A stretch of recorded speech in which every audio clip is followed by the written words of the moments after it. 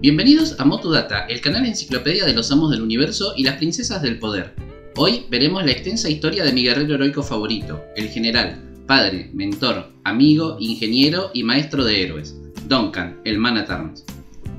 Autores Man at Arms fue una idea original de Mark Taylor, el autor al que considero el padre de Motu por haber sentado las bases y conceptos más reconocibles y perdurables de Amos del Universo.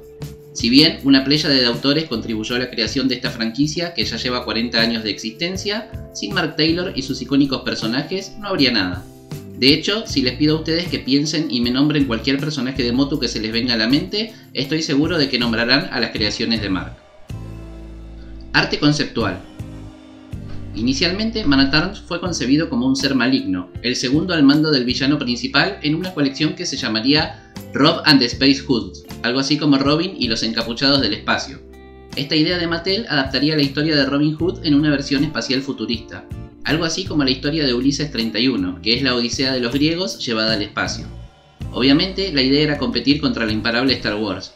Como inicialmente sería un villano, a Mark se le ocurrió que debería ser un conquistador español, un hombre barbado, vestido con una armadura, pero más similar a los gladiadores, ya que su armadura estaría formada de las piezas que rapiñaba de sus víctimas. Así fue como nació el concepto, y se llamaría Paladín. Vemos que posee una armadura completamente cerrada, con un diseño de púas y lleva un rifle y una masa colgada del cinturón, además de una capa de piel. Finalmente, Mattel decidió no realizar esta línea y la canceló en su etapa de planeación. Cuando inició el proyecto Lords of Power, Mark decidió rescatar el diseño de Paladín e introducirlo en esta línea con algunas modificaciones. Todavía se seguiría viendo como un conquistador español, pero ahora sería del bando de los héroes, su diseño se volvería más tosco y asimétrico, llevando armadura en uno solo de sus brazos y en una sola de sus piernas, como los gladiadores murmillos. Su masa podía lanzar la bola de la punta que estaba atada a una cadena. Ahora se llamaba Arnsman, y sus colores serían negro y rojo. Para 1981, la idea de Lord of Powers había mutado en Masters of the Universe, y el personaje sufriría una modificación en su paleta de colores, y una simplificación en su masa, que ya no tendría mecanismo de disparo. Ahora sí, su nombre definitivo estaba asignado. Se llamaría Man at Arms. Prototipo. En su prototipo podemos ver que se reutilizó un molde de He-Man y se le agregó la armadura y el casco por encima. Las piezas de la armadura iban fundidas con el torso, pierna y brazos. Cross-Cell. Su cross-cell o arte para venta cruzada mantenía todas las características vistas en el prototipo. Sin embargo, se hizo un molde nuevo para su cabeza para que no se parezca a He-Man, con unos pronunciados rasgos que lo hacen parecer asiático, y se decidió que su armadura no esté fundida con las piezas, sino que sean removibles y cuenten como accesorios. Esto facilitaba la reutilización de moldes, ya que solo había que fabricar la matriz de accesorios que funcionaba con un sistema de inyección más barato que el que producía las partes del cuerpo. Línea original. Manatarms fue parte de la legendaria Wave número 1, que salió adelantada para la Navidad de 1981. Muchos de los detalles de pintura que tenían el Crossell fueron simplificados. Su front card decía, Maestro de las Armas, y el cardback de 1981 y 1982 solo poseían los Crossell de la Wave 1. Ya a partir de la reedición de 1983 se incluiría un cardback con uno de los legendarios e icónicos dibujos de Rod McCarthy. El suyo decía, Manatarms y Tila exploran las fronteras de Eternia en busca de señales del mal que acecha. Esta sería la cuarta figura más vendida de la línea, y una de las responsables de haber convertido a Amos del Universo en una franquicia exitosa. Minicomics primera generación. Man at Arms aparece en la primera generación de minicomics, dibujados por Alfredo Alcalá y escritos por Don Glad. Hace su debut en el legendario número 1, titulado He-Man y la Espada del Poder. Vemos que tiene los colores y detalles que tiene el prototipo. Luego de que He-Man recibiera las armas y el arnés mágico de manos de la hechicera para proteger a Eternia, el futuro héroe está construyendo su casa. Es entonces cuando Man at Arms se acerca a él a bordo de un vehículo que sería el prototipo del Battle Ram, y también vemos que lleva una capa de piel. He-Man sabe quién es él, un famoso guerrero llamado Man at Arms y amo de las armas. Viene a pedir su ayuda para detener a Skeletor, quien se ha apoderado del castillo Grayskull y ha secuestrado a Tila. Man at Arms le dice que, si unen fuerzas, serán un equipo capaz de derrotarlo a él y a su brutal secuaz, Beastman. Además, el castillo contiene secretos que Skeletor podría usar para conquistar el universo. También agregan que el Sky Sled es capaz de generar un portal de teletransportación, habilidad que posteriormente perdería. Vemos que, uniendo fuerzas, Man at Arms con su extraño vehículo ataca a Beastman, quien utiliza el cañón de Grayskull. Y He-Man abre la puerta de mandíbula con su gran fuerza, ya que aún no poseía la cerradura encantada que le pondrá la hechicera tras la aventura. Cuando los héroes logran ingresar al castillo, Tila ya se había liberado sola, y los tres luchan contra los villanos. Finalmente logran expulsarlos de Grayskull, y ellos huyen corriendo. Es entonces cuando la hechicera decide separar la espada del poder, símbolo del rey de Grayskull, en dos mitades, que al unirlas servirán de llave para abrir el castillo. Finalmente, cuando los héroes se van alejando, el espíritu de Grayskull aparece y dice que los elige como los amos del universo, protectores de los secretos del castillo Grayskull. Lamentablemente, en esta primera generación de minicómics, el personaje ya no sería explorado en profundidad. Lo vemos aparecer nuevamente en el minicómic titulado Batalla en las nubes. He-Man lo va a buscar a su morada para que lo ayude a recuperar su arnés mágico que Merman le robó. Sin embargo, el dibujo elegido está mal porque He-Man lleva la pechera puesta. Ya con su amigo a bordo, regresa con Merman, quien ya ha aprendido a pilotear el Sky Sled. Aquí He-Man sí está dibujado sin pechera. Merman los ataca y Man se cae de la Wind Rider, pero gracias a su armadura no sufre ningún daño. En el minicómic llamado La venganza de Skeletor no aparece en la historia, pero sí es mencionado por Skeletor, cuando este dice que He-Man, Man y Tila son sus mayores enemigos y quienes siempre frustran sus planes. Crossovers con Superman. Debido al éxito rotundo de la línea de juguetes, Mattel decide producir comerciales de TV y alquilar espacio en la publicación de cómics más vendida de la época, que era Superman. Es así como Amos del Universo debutan un crossover con El Hombre de Acero, siendo la primera adaptación de la historia fuera de su propia franquicia. En esta historia, DC Comics reescribe la continuidad, presentando una nueva. He-Man ya no sería un hombre de las cavernas, sino el príncipe de la ciudad de Eternos, capital del planeta Eternia, y He-Man sería su alter ego. Man es aquí un inventor de armas, padre de Tila y también el maestro del príncipe. Lo está entrenando y le enseña a combatir. Sin embargo, Adam se lo toma todo a broma. Man le dice que debería tener vergüenza, él es el heredero al trono y lo incita a que sea más responsable. Adam se concentra y seguirá sus lecciones. Debe observar el momento justo en que la máquina de entrenamiento le muestra una abertura, ingresar y detenerla. Adam se inclina y lo toma por la base. Si el objetivo era detenerlo, es lo mismo. Manatarm se va enojado, le ha enseñado desde niño y nunca ha crecido y madurado. Más adelante, el héroe de la Tierra, Superman, había sido teletransportado por error a Eternia, cuando Skeletor distorsionó las dimensiones con el objetivo de abrir una brecha en el castillo Grayskull. He-Man y Superman se unen para detener al villano. Manatarms llega en una Wind Rider y se suma al equipo de héroes. Lo único que hace en esta historia es dispararle unos misiles a Skeletor que el villano repele creando un escudo con su media espada del poder. Cuando el villano es vencido, Superman vuelve a su mundo, formando una amistad con los héroes. En esta historia, Man no conoce la identidad secreta de He-Man. Serie limitada de DC Comics. Debido al gran éxito del cómic crossover con Superman, DC Comics produjo una serie limitada de tres números, en donde Man tiene una pequeña participación. Primero aparece lamentándose con el rey Randor por el destino de Adam, ya que él trata de enderezarlo para que sea un buen heredero, pero no hay caso con el muchacho. Como sigue enojado con él, debemos entender que sigue sin saber que He-Man y el príncipe son la misma persona. Cuando un demonio ataca al Sanctorum de Tarrak, el mago real del palacio, Tila y He-Man combaten contra ellos para salvar al viejo mago. Manatarns aparece en escena, demostrando ser un gran combatiente, y logra dar vuelta a la pelea en favor de los héroes. He-Man le cuenta al padre y a la hija que Skeletor ha capturado a la diosa de Eternia, y que él debe encontrar tres talismanes que lo conducirán a la espada del poder. Es el precio que Skeletor le ha puesto a la vida de la diosa. Los dos guerreros deciden acompañar al héroe en su cruzada. Se dirige al mar de la negrura, junto a Tila y Stratos, para encontrar el talismán del agua. El mago Tarrak les ha dado una poción que les permitirá respirar bajo el agua. Cuando se sumergen, combaten contra Merman y su pueblo en la ciudad submarina. Una vez que recuperan los tres talismanes, todos los héroes son teletransportados al interior del castillo Grayskull. Allí, todos ellos son separados y caen en las ilusiones de los caminos embrujados dentro del castillo. Manatarm se ve atraído por un arsenal antiguo que no puede dejar de examinar. Cuando se acerca, activa un sensor y un rayo paralizador lo ataca. De este punto en adelante, no aparecería más en la historia. Minicomics segunda generación. Gracias al éxito de ventas de la serie limitada, DC Comics pudo negociar un contrato con Mattel y harían una nueva generación de minicomics, anulando las historias de Don Glad. Si bien tienen un estilo similar a lo visto en el crossover con Superman y en la serie limitada, esta es una nueva continuidad, con menos oscuridad y elementos violentos. Manatarns aparece muy poco en ellos, pero se agregan nuevos elementos al personaje que conservará en adaptaciones posteriores. Lo vemos en la historia origen de Maneface, tratando de salvar a Tila y siendo golpeado por el monstruo. También lo vemos combatir junto a Tila al maníaco Trapjo, y en esta historia los dos son derrotados. La historia más importante de este periodo es una que lo tiene como protagonista. El capítulo se llama El cuento de Tila. Skeletor ha capturado a la diosa en Point Red, le ha robado parte de su poder y lo ha encarnado como un bebé.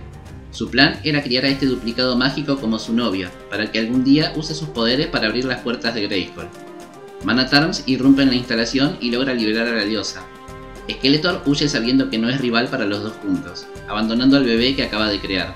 La diosa dice que debido a sus obligaciones le será imposible criarla como una niña normal. Manatarms se ofrece a criarla como su propia hija, y con su permiso le pondrá el nombre de Tila. Veinte años más adelante, Skeletor ha capturado a Tila y la mantiene bajo un hechizo de control mental. Su madre, la diosa, junto a Manatarms, acuden a rescatarla. Skeletor se enfrenta al guerrero, y madre e hija luchan la una contra la otra.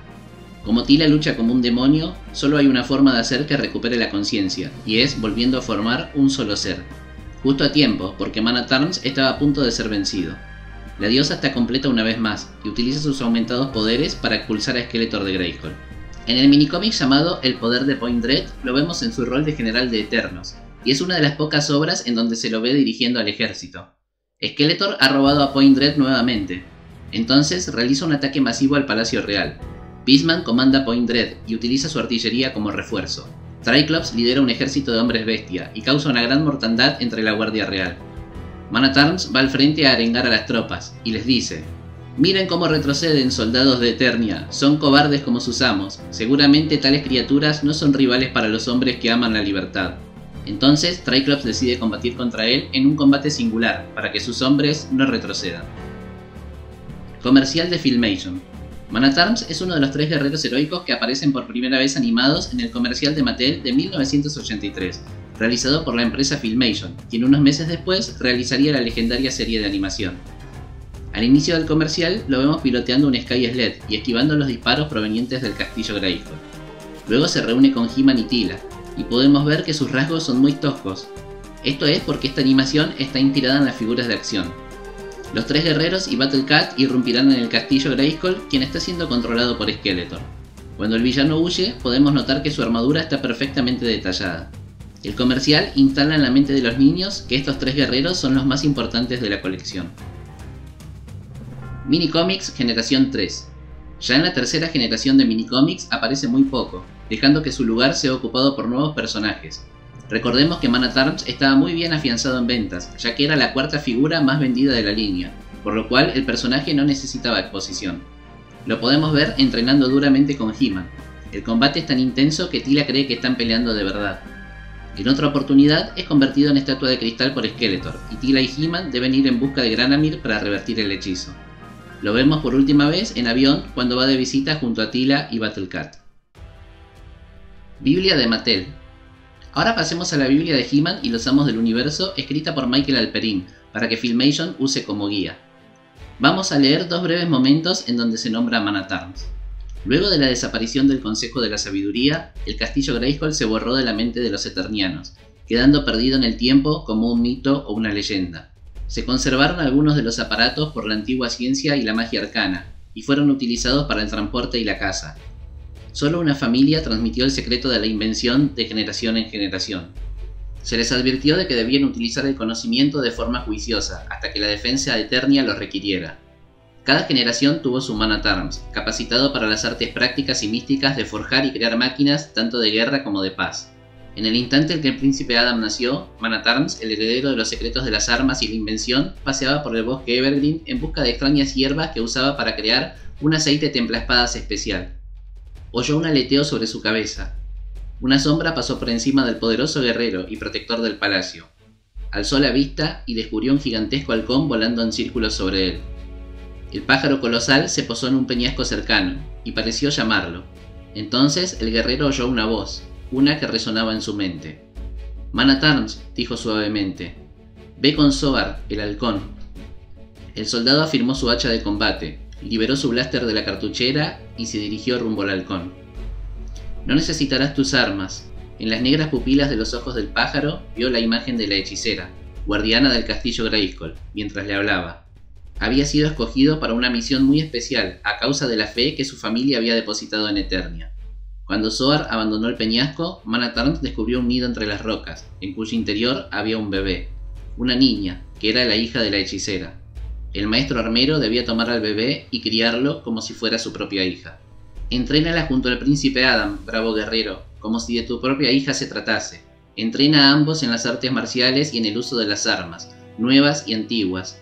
No seas menos severo con ella porque es una chica, porque llegará el día que necesite todas las habilidades que aprendió de ti. Quiero pedirte otra cosa. Nunca le reveles la identidad de su madre. Eso es algo que ella debe descubrir por sí misma. Estupefacto, Manatarm se quedó plantado en el suelo y sin habla. Hechicera, ¿cómo debo llamarla? ¿Cómo se llamará la niña? Tila, dijo la hechicera, mientras Zoar se alejaba volando.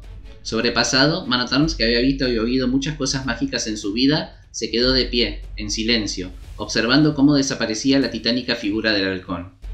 El príncipe Adam y Tila crecieron juntos bajo la tutela de Manatarms. Su laboratorio fue su espacio de juego.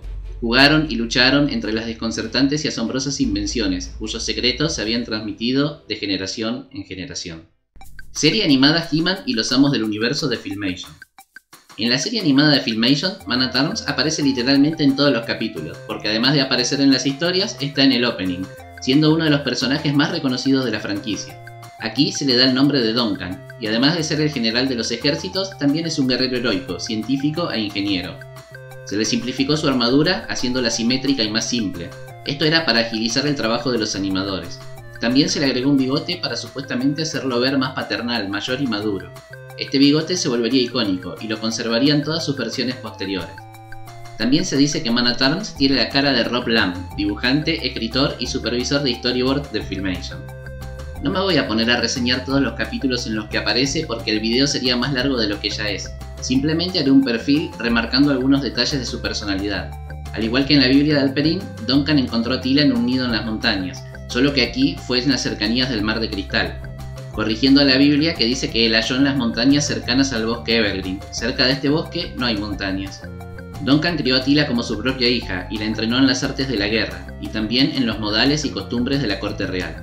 En su rol de ingeniero, casi todos los artefactos y vehículos que aparecen en la serie son invenciones de él, como por ejemplo el cañón congelante, los corceles robóticos, la Wind Rider, el Attack Track, vehículo equipado con inteligencia artificial, y su suplemento, el Small Track. Los Sky Sled, que son el medio de transporte más común de los héroes, los barcos de alta velocidad, el Battle Ram y el aparatoso Dragon Walker. Las armaduras de los guardias reales parecen ser derivaciones de la suya propia, solo que más simples y con más protección en la cabeza. Estos guardias están equipados con videntes que les sirven para luchar cuerpo a cuerpo y además disparan un láser aturdidor. Duncan está especializado en la tecnología del pasado, por lo cual puede reparar máquinas antiguas sin ningún problema, incluso puede copiarlas y mejorarlas. A menudo es víctima de las travesuras infantiles de Orco. En el pasado derrotó y selló al villano Dark Dream en la montaña oscura, una vez fue convertido en cristal por un hechizo de Skeletor que iba dirigido al rey Randor, pero que él tomó para salvarlo. Como él conoce la identidad secreta del príncipe Adam, puede oficiar de consejero y de estratega en la mayoría de las aventuras. Es uno de los guerreros heroicos que viajó a la Isla de las Lágrimas para liberar al rey Danton. También investigó junto a He-Man por qué desaparecían los barcos reales en el océano, y llegó a la ciudad de Acuática, en otra aventura acompañó a He-Man a Humo Oscuro y pudo conocer a Granamir y también darle las gracias por haberle salvado la vida cuando se transformó en estatua de cristal. Formó una alianza con Skeletor y otros héroes para detener al demonio Ashgora, que se había apoderado del castillo Grayskull. También encontró junto a He-Man a Roboto, un explorador del planeta Robótica que se había estrellado en Eternia. También fue capturado por Módulo que trató de robar su cerebro para poseer su intelecto, lo cual habla muy bien de él, como dije antes, Duncan protagonizó cientos de aventuras más que pasaré por alto para no alargar más el video. Película animada He-Man y Shira, El secreto de la espada de Filmation. Duncan es uno de los personajes que aparecen en la película para cines de Filmation. Si bien no tiene mucha importancia en la historia en general, aprendemos más cosas sobre él. Por ejemplo, que hace 20 años Ordak atacó Eternia, y mientras la Guardia Real y el Rey Randor combatían a las tropas de la Horda, el vampiro cósmico y su pupilo Skeletor se infiltraron en el Palacio Real. Ordak logró capturar a la bebé Adora, y cuando se disponía a tomar a Adam, un joven Manatarms ingresó a la habitación de los niños y lo impidió.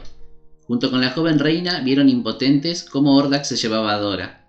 Junto con la hechicera lo persiguieron hasta la montaña serpiente, pero Ordak huyó a otra dimensión y jamás pudieron encontrarlo nuevamente. Ya en el presente, Adam encuentra a Dora en Eteria y la lleva a Eternia para que conozca a sus padres. Randor, Marlena y Manatarms la recuerdan y vemos la famosa escena en la cual Duncan llora y Tila se pone celosa. Más adelante, en la montaña serpiente, Shira vence sola a Skeletor y se presenta como la hermana de He-Man. Tila se pone celosa de nuevo y Duncan se da cuenta de que es Adora. También aparece en el capítulo especial de Navidad de He-Man y Shira, pero en un papel menor. Cuarta generación de minicómics. Para esta etapa de minicómics ya comienza el declive de Motu, y el personaje no es demasiado utilizado para ceder su lugar a otros y promocionar más las figuras nuevas.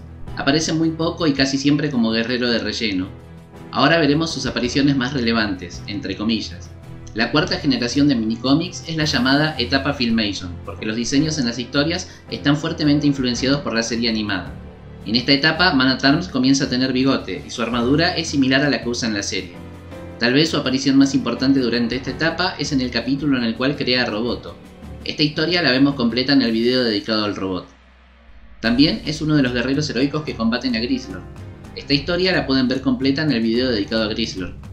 Su última aparición en esta cuarta generación es cuando todos los héroes le llevan las partes de módulo, y sus instintos le dicen que no debe armarlo porque parece un ser maligno, y decide almacenarlo en Grayskull. Esta historia también está completa en el video dedicado a módulo. Quinta generación de minicómics. Duncan es completamente olvidado durante esta etapa, una verdadera lástima porque las últimas historias de los minicómics están muy bien escritas, ni siquiera aparece en la mayoría de los números, tiene una única aparición final en el capítulo llamado Energy Zoids. Aquí, Duncan construye una máquina que fabrica androides que giran a alta velocidad y la utiliza para salvar la vida de un guardia real herido que es transformado en Rotar.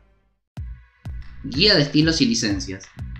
Manatarns fue registrado tardíamente en la Guía de Estilos y Licencias de 1986. El dibujo es una reutilización de un arte que Ron McCarthy hizo para merchandising en 1982, y estos son los datos que se registraron sobre él. Nombre, Manatarms. Grupo de afiliación, Guerreros Heroicos. Rol, Oficial Superior y Segundo al Mando. Poder, el amo de la estrategia y la defensa. Perfil del personaje, Manatarms ha sido el maestro de la estrategia y la defensa por mucho tiempo en Eternia. De hecho, él entrenó al príncipe Adam cuando era un irresponsable niño amante de la diversión. Tila es su hija adoptiva. Manatarms tiene un lazo especial con la hechicera, quien es capaz de hablar con el guerrero telepáticamente. Armas. Man Arms es adepto a crear armas y dispositivos que combinan elementos computarizados con la tecnología medieval de acuerdo con la cultura eterniana. Año de introducción del juguete, 1982. London Edition Comics. En este cómic, en las aventuras regulares, los personajes de soporte casi no se destacan. Todos están escritos de la misma manera y no tienen personalidad, salvo en las historias llamadas los archivos secretos de Scrollos, que generalmente suelen ser historias de origen o ampliaciones de hechos históricos.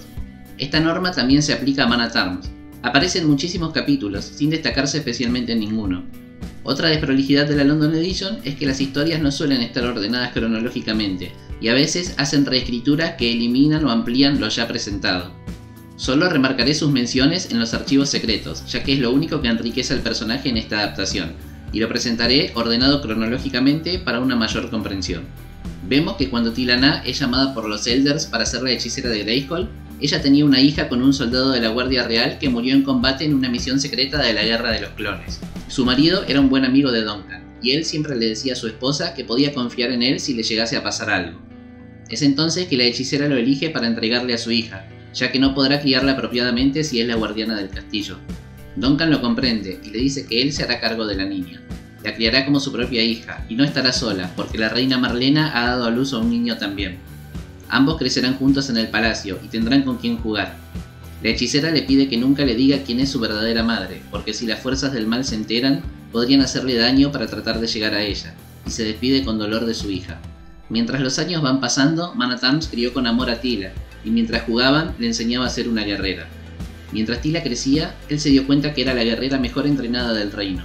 Su velocidad y reflejos de batalla son casi perfectos, Años más tarde, la Guardia Real solicita cadetes y Man incentiva a su hija a anotarse. Tila le dice que los miembros de la Guardia siempre han sido hombres. Man le dice que eso ha sido así porque nunca hubo una mujer tan fuerte y valiente como ella. En un archivo secreto referente al castillo Grayskull nos cuentan que aparte de contener la fuente de la gran magia, el castillo también posee poderosas armas y conocimiento. La biblioteca de Grayskull contiene todos los secretos del universo, y Man at Arms ha estudiado estos libros durante años. También posee un segundo laboratorio secreto en los sótanos de Grayskull. Allí desarrolla sus brillantes armas y máquinas, a salvo de las fuerzas del mal, y también puede realizar reparaciones de emergencia. En el archivo secreto dedicado a los compañeros de He-Man se agregan los siguientes datos sobre él. Man at Arms es el compañero de confianza de He-Man y un brillante inventor y científico. Su agudo ingenio y sus conocimientos han ayudado a derrotar a Skeletor y a Ordak en más de una ocasión. Una vez fue contactado por la hechicera para conducir al joven Adam al castillo Grayskull y a su futuro como He-Man.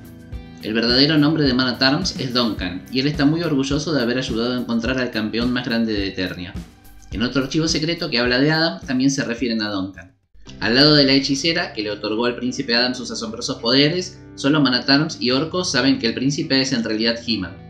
Para proteger su secreto, a menudo el príncipe Adam finge ser perezoso y un poco cobarde, para que la gente no sospeche quién es realmente.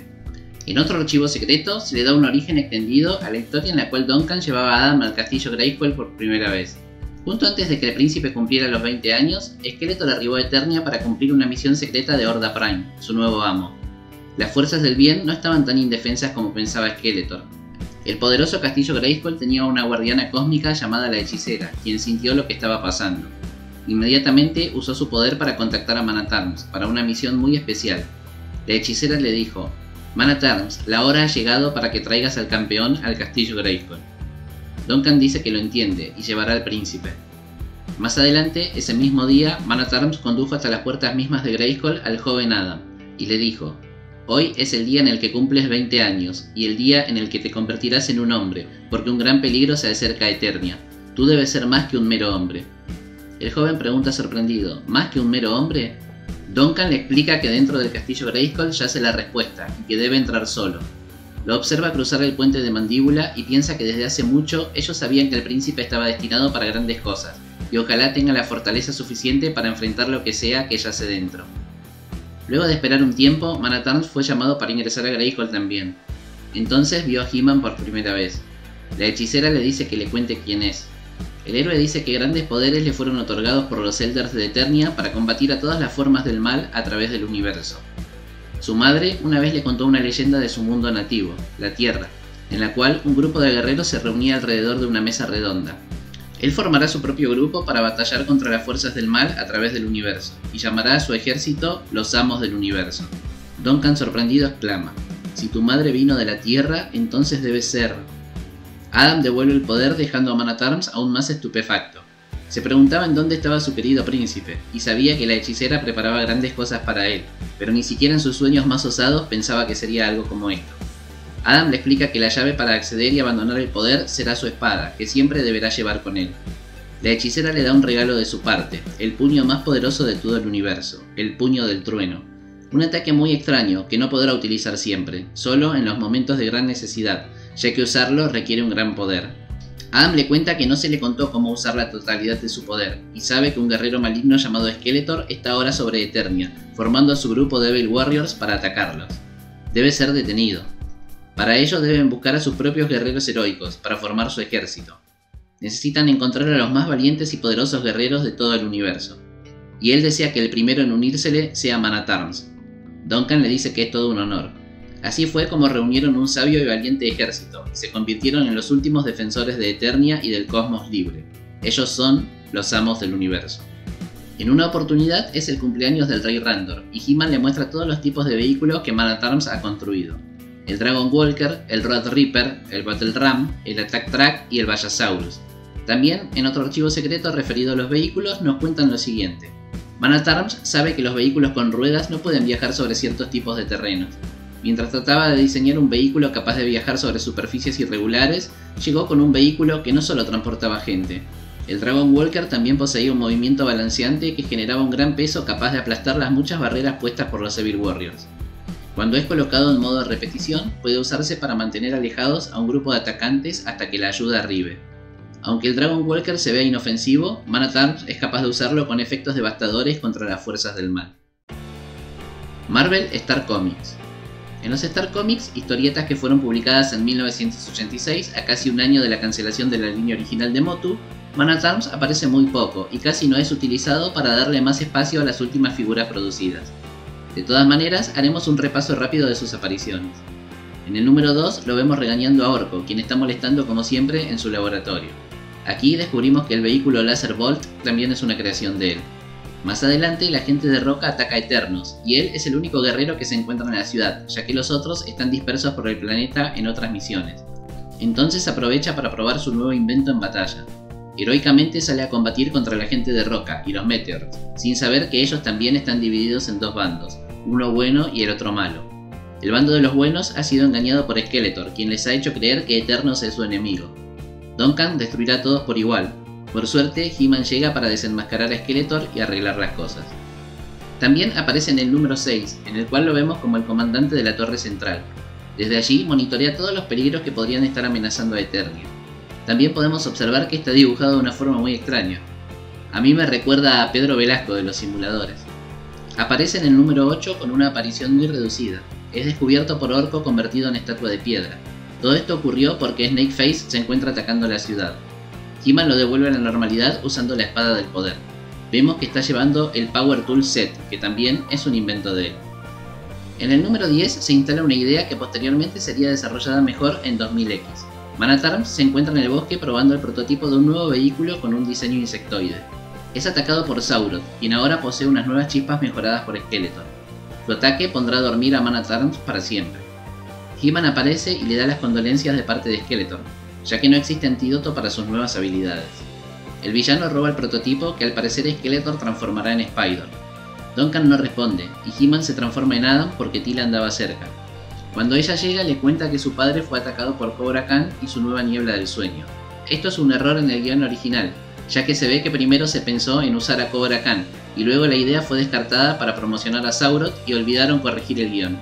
Un médico examina a Duncan y dice que la sustancia con la que fue rociado es remarcable, en un sentido maligno, por cierto.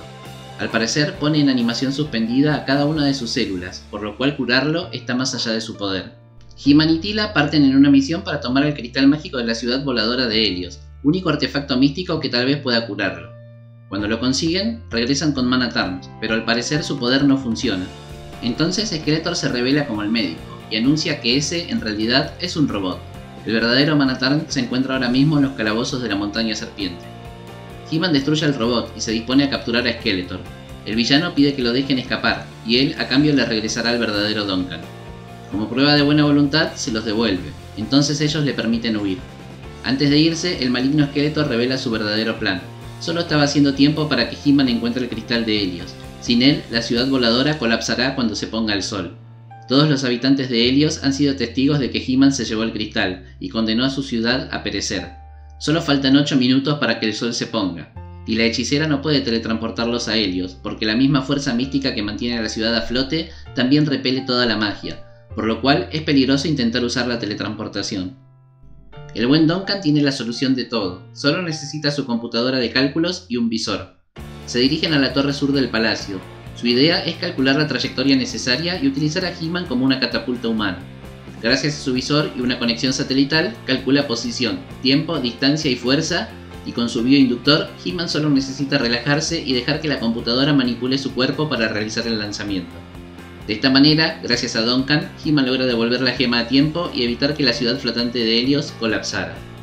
En los números finales de esta historia, los 12 y 13, aparece por última vez. Adam está enojado porque su padre se avergüenza de él y admira a He-Man. Ya no quiere ser He-Man porque está arruinando su vida. Manatarms trata de explicarle que, si revela su identidad, sus enemigos atacarán a sus amigos y familia para tratar de llegar a él. Además, es una gran ventaja táctica que nadie lo sepa, como Adam puede ir a cualquier parte, y al transformarse, He-Man siempre tiene el factor sorpresa de su lado. Adam dice que ya está cansado de fingir que son dos personas diferentes. He-Man se lleva todo el crédito y ya está cansado de fingir que es un cobarde. Tiene que salir corriendo siempre. Duncan le explica que ser He-Man es un gran deber y la más grande responsabilidad, la más importante de toda Eternia. Adam sigue enojado, está harto del deber y la responsabilidad. Después de haber peleado por tanto tiempo, ¿no tiene derecho a tomarse un descanso? ¿A vivir su propia vida? Él no tiene el poder, el poder lo tiene a él. Mañana irá a Grayskull y le devolverá la espada a la hechicera. Él renuncia, y que ella busque a alguien más. Ese mismo día, pero más tarde, Skeletor ataca el laboratorio de Manatarns y lo toma prisionero. Cuando el príncipe llega, también lo captura. Skeletor tiene un nuevo plan maligno. Ha desarrollado una bomba de tiempo, y cuando He-Man llegue la detonará frente a él. Su energía temporal lo desplazará cientos de años en el futuro, y ya no será una amenaza para él. Mientras Skeletor prepara la bomba y se van a gloria de su plan, Adam aprovecha para liberarse, y tomando su espada de la mesa la arroja sobre la bomba, y la destruye antes de que se arme completamente. La energía temporal desplaza a Skeletor y a la espada a algún lugar del futuro. Afortunadamente, el laboratorio de Duncan tiene un sistema de seguridad que detecta desplazamientos dimensionales, por lo cual ha recolectado los datos del portal que desplazó a Skeletor y a la espada en el tiempo. Con una máquina del tiempo lo envía a recuperar la espada. Adam se lamenta, ahora no será He-Man nunca más. Duncan le recuerda que eso es lo que quería hace un par de horas, así que debería estar contento. Le desea suerte en su misión, y ojalá cuando regrese pueda pensar mejor su decisión. Cuando Adam llega al futuro descubre lo peor. Se ha creado un futuro alternativo en el cual Skeletor domina toda Eternia. Desde hace 30 años no ha habido He-Man. La mayoría de sus amigos están muertos. Solo un Adam mayor lidera la resistencia junto a un viejo Clancham y a un nuevo Man Arms, que es el hijo de la teniente Andra. Duncan está muerto en ese futuro. Tras varias aventuras en las cuales la hechicera del futuro, su yo futuro y Skeletor mueren, Adam logra regresar en el tiempo con la ayuda de Tila del futuro. Duncan se sorprende de que haya llegado tan rápido y le dice que quiere hablar con él sobre su decisión de dejar de ser He-Man. El príncipe le contesta, ¿dejar de ser He-Man? Ni de broma. Película de canon. En la película de acción real, es decir, hecha con actores de carne y hueso, Man fue interpretado muy bien, al menos visualmente, por el actor John Cypher. Un prolífico actor con una extensísima carrera tanto en cine como televisión, y que al momento de estar haciendo este video cuenta con 90 años. Debo reconocer que para los latinoamericanos la película es más aceptable si la vemos doblada, porque las voces son el mismo cast que en la serie animada. Desconozco si en España también fue así. En esta versión, Duncan es un veterano guerrero y general del ejército de Eternos, que acaba de ser vencido por las fuerzas de Skeletor. Ellos creen haber sido traicionados porque Skeletor apareció de la nada con un ejército que no fue visto por nadie. Esto en realidad se aclarará más adelante. Junto a su hija Tila logran sobrevivir a la batalla y se reencuentran con He-Man, antiguo defensor del reino y enemigo personal de Skeletor. Le informan que el villano ha tomado el legendario castillo Grayskull y capturado a la hechicera. Inmediatamente son descubiertos por una patrulla de centuriones, especie de Stormtroopers negros robóticos al servicio de Skeletor. Los tres amigos los derrotan y logran rescatar a Wildor de Tenur, cerrajero de alta tecnología en Eternia.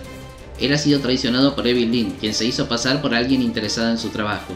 Así fue como supo de la llave cósmica, un artefacto que inventó y que permite abrir portales a cualquier lugar del universo.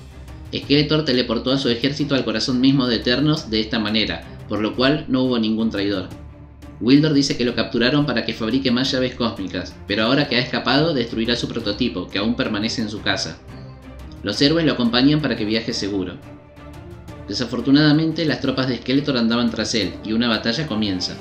Manatarms le pide que utilice el prototipo para escapar a cualquier lugar y planear una mejor ofensiva. Los héroes cruzan el portal y acaban en el planeta Tierra, donde el prototipo se pierde, y tras varias peripecias deben recuperarlo. Evil envía un grupo de Evil Warriors a recuperar el prototipo y capturar a He-Man. Cuando fallan, ella misma es enviada a cumplir la misión, y utilizando la astucia captura a Kevin, un muchacho terrícola que es el novio de Julie, otra terrícola que está ayudando a los héroes. De esta manera le coloca un collar que lo obliga a decir la verdad y obtiene la ubicación de sus enemigos. Los héroes logran rescatar a Kevin, pero luego son emboscados por las tropas de Skeletor y comienzan una batalla en la Tierra, He-Man es obligado a rendirse y es tomado prisionero a cambio de la vida de sus amigos y la seguridad de la Tierra. Duncan y Tila no son capaces de hacer nada para ayudar a su amigo. Una vez que Skeletor y sus tropas se retiran de la Tierra, Julie ha sido herida por la magia negra de Skeletor, y Wildor y Kevin trabajarán en una nueva llave cósmica para ir a Eternia.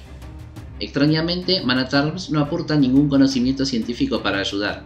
Al parecer, en esta adaptación es solo un soldado. De alguna manera incomprensible, Wildor transforma un auto común y corriente en una máquina para hacer portales, energizada solo por el poder de su batería. Y sí, el enano es un genio, ¿o no? Aparte de la inverosimilitud de lo que acabamos de ver, lamentablemente Duncan no tiene una mayor participación en este film. De aquí en adelante, solo es un espectador de la pelea final entre He-Man y Skeletor. Lo vemos por última vez saludando a Julie y a Kevin, deseándoles buen viaje según la costumbre eterniana. Adaptación oficial de la película de Star Comics. Marvel también haría la adaptación oficial a cómic en donde Man no está dibujado con el aspecto mostrado en el film, sino como una versión más parecida a su figura de acción. Todo transcurre más o menos igual hasta el final, en donde vemos una escena nueva, exclusiva de este cómic. Cuando despiden a Julie y a Kevin, Man les regala unas banderas de la nave que trajo a los primeros Eternianos hace cientos de años. Ellos no entienden nada, es una bandera norteamericana y otra de la NASA, con la fecha de la misión 10 de julio del año 2221. Kevin dice que esto aún no ha ocurrido, y Wilder explica que la distancia es solo una medida del espacio, se puede ir hacia adelante y hacia atrás. Este es uno de los secretos del castillo Grayskull. Los Eternianos son originalmente seres humanos. Biblia 2000X. Ahora leeremos los datos planeados para lo que sería la futura adaptación animada de Mike Young Production, serie que hoy conocemos vulgarmente como 2000X. Dice así: Man at Arms, una de las tres personas en Eternia que conoce la identidad secreta de He-Man. Duncan desciende de una larga línea de científicos y especialistas en armamento que han servido a las fuerzas del bien de Eternia por generaciones. Él luchó al lado de su mejor amigo, el rey Randor, entonces Capitán Randor, cuando Keldor y sus fuerzas atacaron el Salón de la Sabiduría. Él y la hechicera crearon el muro místico que selló al mal por muchos años, hasta que Keldor se convirtió en Skeletor y recuperó el cristal de Coridita que destruyó el muro místico. Manatarms prefiere trastear en su laboratorio, pero cuando llega el momento de entrar en batalla se ciñe con su armadura especial automática que contiene una matriz de artilugios y dispositivos dependiendo de qué o a quién enfrente. Él es el mentor del príncipe Adam y entrenó a Tila en las artes ofensivas y defensivas. Nadie más que Manatarms y la hechicera saben que él adoptó a Tila. Llegará un tiempo en el cual la hechicera le podrá revelar el secreto estrechamente guardado. Cuando He-Man necesita una nueva arma, Manatarms interviene y suple sus necesidades. Cuando He-Man necesita información sobre la diabólica tecnología de Skeletor, Manatarms se la provee. Mientras tanto, en su laboratorio, él crea dispositivos únicos, vehículos y armas de increíble sofisticación. Armas. Él siempre lleva una masa a su lado que funciona como un blaster y la parte superior puede transformarse en un mapa holográfico de Eternia. Él también lleva en su muñeca un cañón que emerge de su armadura cuando surge la necesidad. Serie animada He-Man y los Amos del Universo de Mike Young Production. En esta serie, Man at Arms es el hombre que nunca ríe, serio, osco y hasta algo sombrío, actitud que le queda muy bien, pero le falta el toque paternal y de mentor. Si leen la Liga de la Justicia de DC Comics, verán que su rol en el grupo es muy similar o casi igual al de Batman. Aparece en casi todos los 39 capítulos, por lo cual haremos un repaso rápido como hice con la serie de Filmation. Podemos ver que desde muy joven ya estaba al servicio del Capitán Randor junto a Random, Mechanic y Stratos, los amos del universo más veteranos. También combatió en la última batalla de Gran Malestar, donde Keldor fue derrotado y confinado al hemisferio oscuro tras el muro místico que él mismo ayudó a construir es el maestro de combate de Adam y Tila, en donde vemos que Tila es claramente superior al príncipe. También fue el encargado de llevar a Adam a Grayskull por pedido de la hechicera cuando Skeletor logró romper el muro místico. Él vuelve a la batalla contra los Evil Warriors y Tila pregunta dónde está Adam. Manatarms le dice que está a salvo, dando inicio al ciclo de excusas ridículas cada vez que el joven desaparece. En la primera batalla contra los Evil Warriors, tras el regreso de Skeletor, es comido por un pez gigante aliado de Merman sale de su interior detonando una granada en el estómago del pez, haciéndolo vomitar. Orco accidentalmente descubre que Adam es He-Man y va a contarle emocionado a todos. Manatrans lo detiene y le dice que jamás debe revelar ese secreto a nadie. En otra oportunidad creó un duplicado robótico de He-Man para que rescate al príncipe Adam, capturado por los Civil Warriors. En otra ocasión, inventa trajes submarinos para recuperar la corridita en el fondo del mar. Esta vez, tanto él como He-Man son comidos por el pez gigante de Merman siendo Manatarms el único hombre en Eternia que fue comido dos veces por el mismo pez. En el ataque de las bestias sombra, cuando Skeletor oscureció el sol, notó que Radman le teme la oscuridad por el trauma que sufrió cuando era niño y cayó dentro de unos túneles, y lo alentó a enfrentar sus miedos y a salir adelante. También acompañó a He-Man a la isla maldita de Anwat cuando Skeletor se apoderó de las piedras del legado. Inventó a Roboto para que sea un contrincante de ajedrez de Mane Robot. Sin embargo, su invención tenía alma de guerrero y se automodificó para ir a la batalla, sacrificándose heroicamente para salvar a He-Man y a Tila. Más adelante lo reconstruyó para que sea un nuevo amo del universo. Combatió contra los hombres serpiente que liberó Cobra Khan del vacío al intentar liberar al Rey Hiss. En las Islas Orcas aprendemos que su mentor fue Decker, anterior Manatarms del Rey Miro y maestro de combate de Randor también, al que él llama Randy. Le dice que es un imbécil por dejarse comer por los peces dos veces, lo cual me hizo mucha gracia y también nos da a entender que por más que él esté alejado de todos, conoce las novedades. Junto a Tila, los dos cascarrabias son capturados por los primos de Clawful, y a Duncan lo pica una medusa y casi muere, pero es salvado finalmente por He-Man. Cuando todos los Evil Warriors son capturados y encarcelados, siguiendo un plan de Skeletor que había formado un segundo grupo de villanos, Duncan se confía y dispersa a todos los amos del universo. Esto le cuesta ser derrotado y capturado por Skeletor, quien no lo mata por requerimientos del guion. Por suerte es rescatado por Mossman, mientras que los Evil Warriors son liberados por Cobra Khan y Rattler. A pesar de que cometió un grave error táctico, ser amigo del rey tiene sus ventajas. Es testigo de cómo Beastman ha logrado criar con éxito a una manada de espinatauros, y que usará para atacar la Asamblea de los Pueblos Libres organizada por el Rey Rando. Entonces se le ocurre la idea de replicar a los enemigos naturales de los Spinataurus, los dragones. Es así como crea los poderosos Dragon Walkers, las armas más poderosas de Eternos. En una oportunidad, la hechicera lo convoca de urgencia a Grayskull, a él, no a He-Man. Le cuenta que Tila se encuentra en la aldea de Pelesia, donde ella hace 17 años tuvo un romance con un soldado herido en la batalla, y ella no debe descubrir nada de su pasado aún. Skeletor, coincidentemente, crea un nuevo tipo de Skelcon y decide usar la aldea como campo de pruebas. He-Man y Duncan aprovechan para ir a ayudar y de paso a retirar a Tila. Los tres guerreros logran derrotar a la amenaza y Duncan descubre que Tila no ha descubierto nada sobre su origen.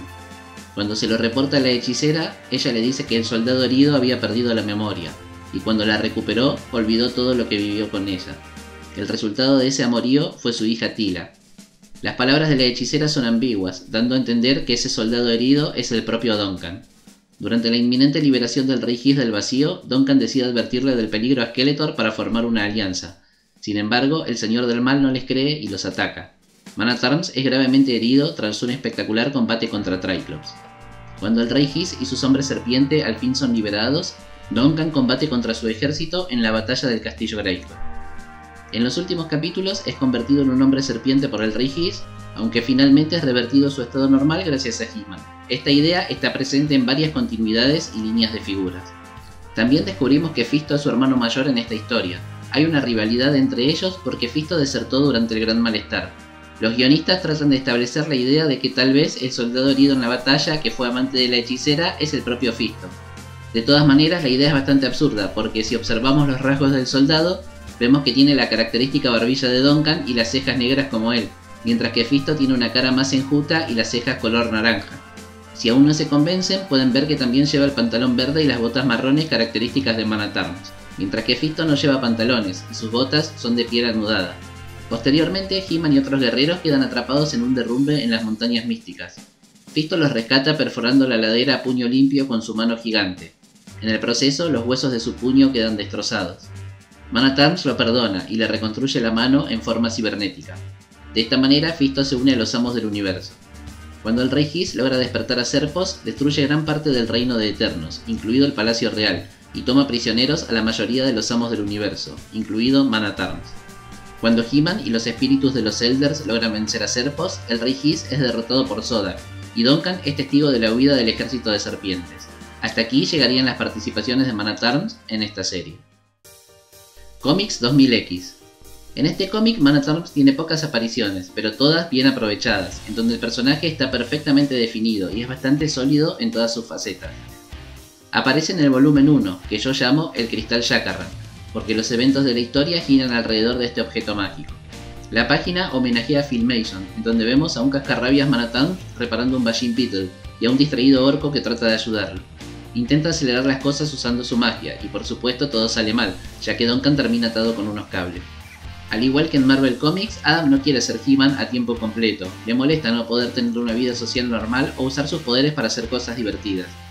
Duncan le habla sobre la responsabilidad de usar el poder correctamente, sin cometer abusos o usarlo para sus fines personales, demostrando ser más didáctico, comprensivo y convincente que en Marvel Comics.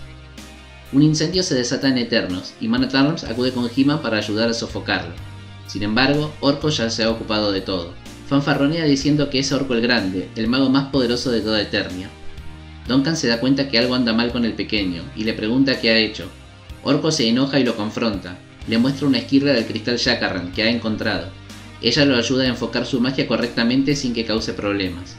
Manatarm sospecha que el objeto es maligno. Orco estaba lleno de rabia, hay que preguntarle a la hechicera qué es en realidad.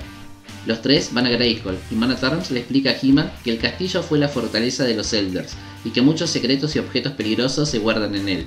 Solo la hechicera conoce todos los secretos que se ocultan en su interior. Finalmente, al averiguar que se trata de una esquirla del cristal Yakarran, un objeto mágico que alberga una gran fuerza maligna, que no es otra cosa más que una parte del alma del sin nombre, He-Man parte en una solitaria misión de infiltración en la montaña serpiente para recuperar y destruir el cristal entero.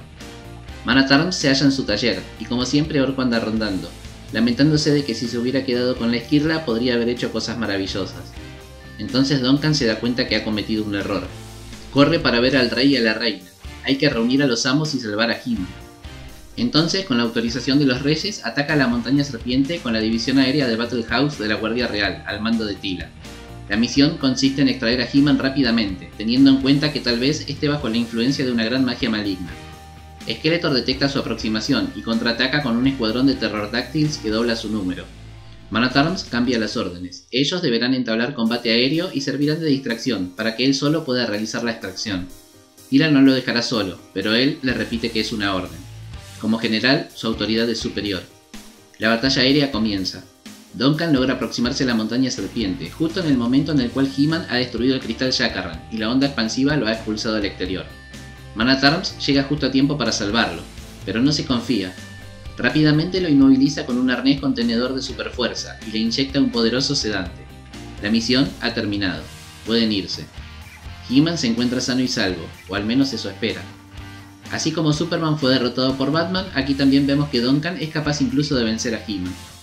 Más adelante, ya en Grayskull, Manatarm cuestiona a la hechicera por haber mandado a He-Man solo a una misión tan peligrosa. Casi cae bajo el poder del cristal. La hechicera le contesta que sin embargo no lo hizo. Duncan le reprocha que ha perdido hombres por tener que hacer ese rescate. Además, He-Man cayó más de 20 metros. Ella le responde que debería haber confiado más en las habilidades de He-Man y en las de Adam. Finalmente confiesa que esto fue una prueba predestinada para el elegido, para reafirmar su derecho a usar el poder, y Adam lo ha hecho muy bien. El volumen 2 comienza con una gran batalla en las ruinas del templo de Schneider. Skeletor está en su interior, y sus Evil Warriors lo defienden ferozmente. Vemos que Trapjo solo es capaz de mantener un fuego tan nutrido que mantiene a raya a la Guardia Real. Muchos van cayendo ante los disparos del Cyborg. Manatarms los está comandando, también hay algunos amos del universo. Le pide un reporte de la situación del enemigo a Mekanek. Este le informa que hay una docena de Skeleton Warriors disparando junto a Trapjo, quien lidera el ataque. También hay Evil Warriors en la reserva. Radman dice que los aplastará si vienen. Manatarms piensa que no podrán traspasar el perímetro de los láser. Sin embargo, el artillero frente a él cae de un certero disparo. Manatarms toma su lugar y pide que abatan a los guerreros esqueletos, y él tratará de derribar a Trapjaw.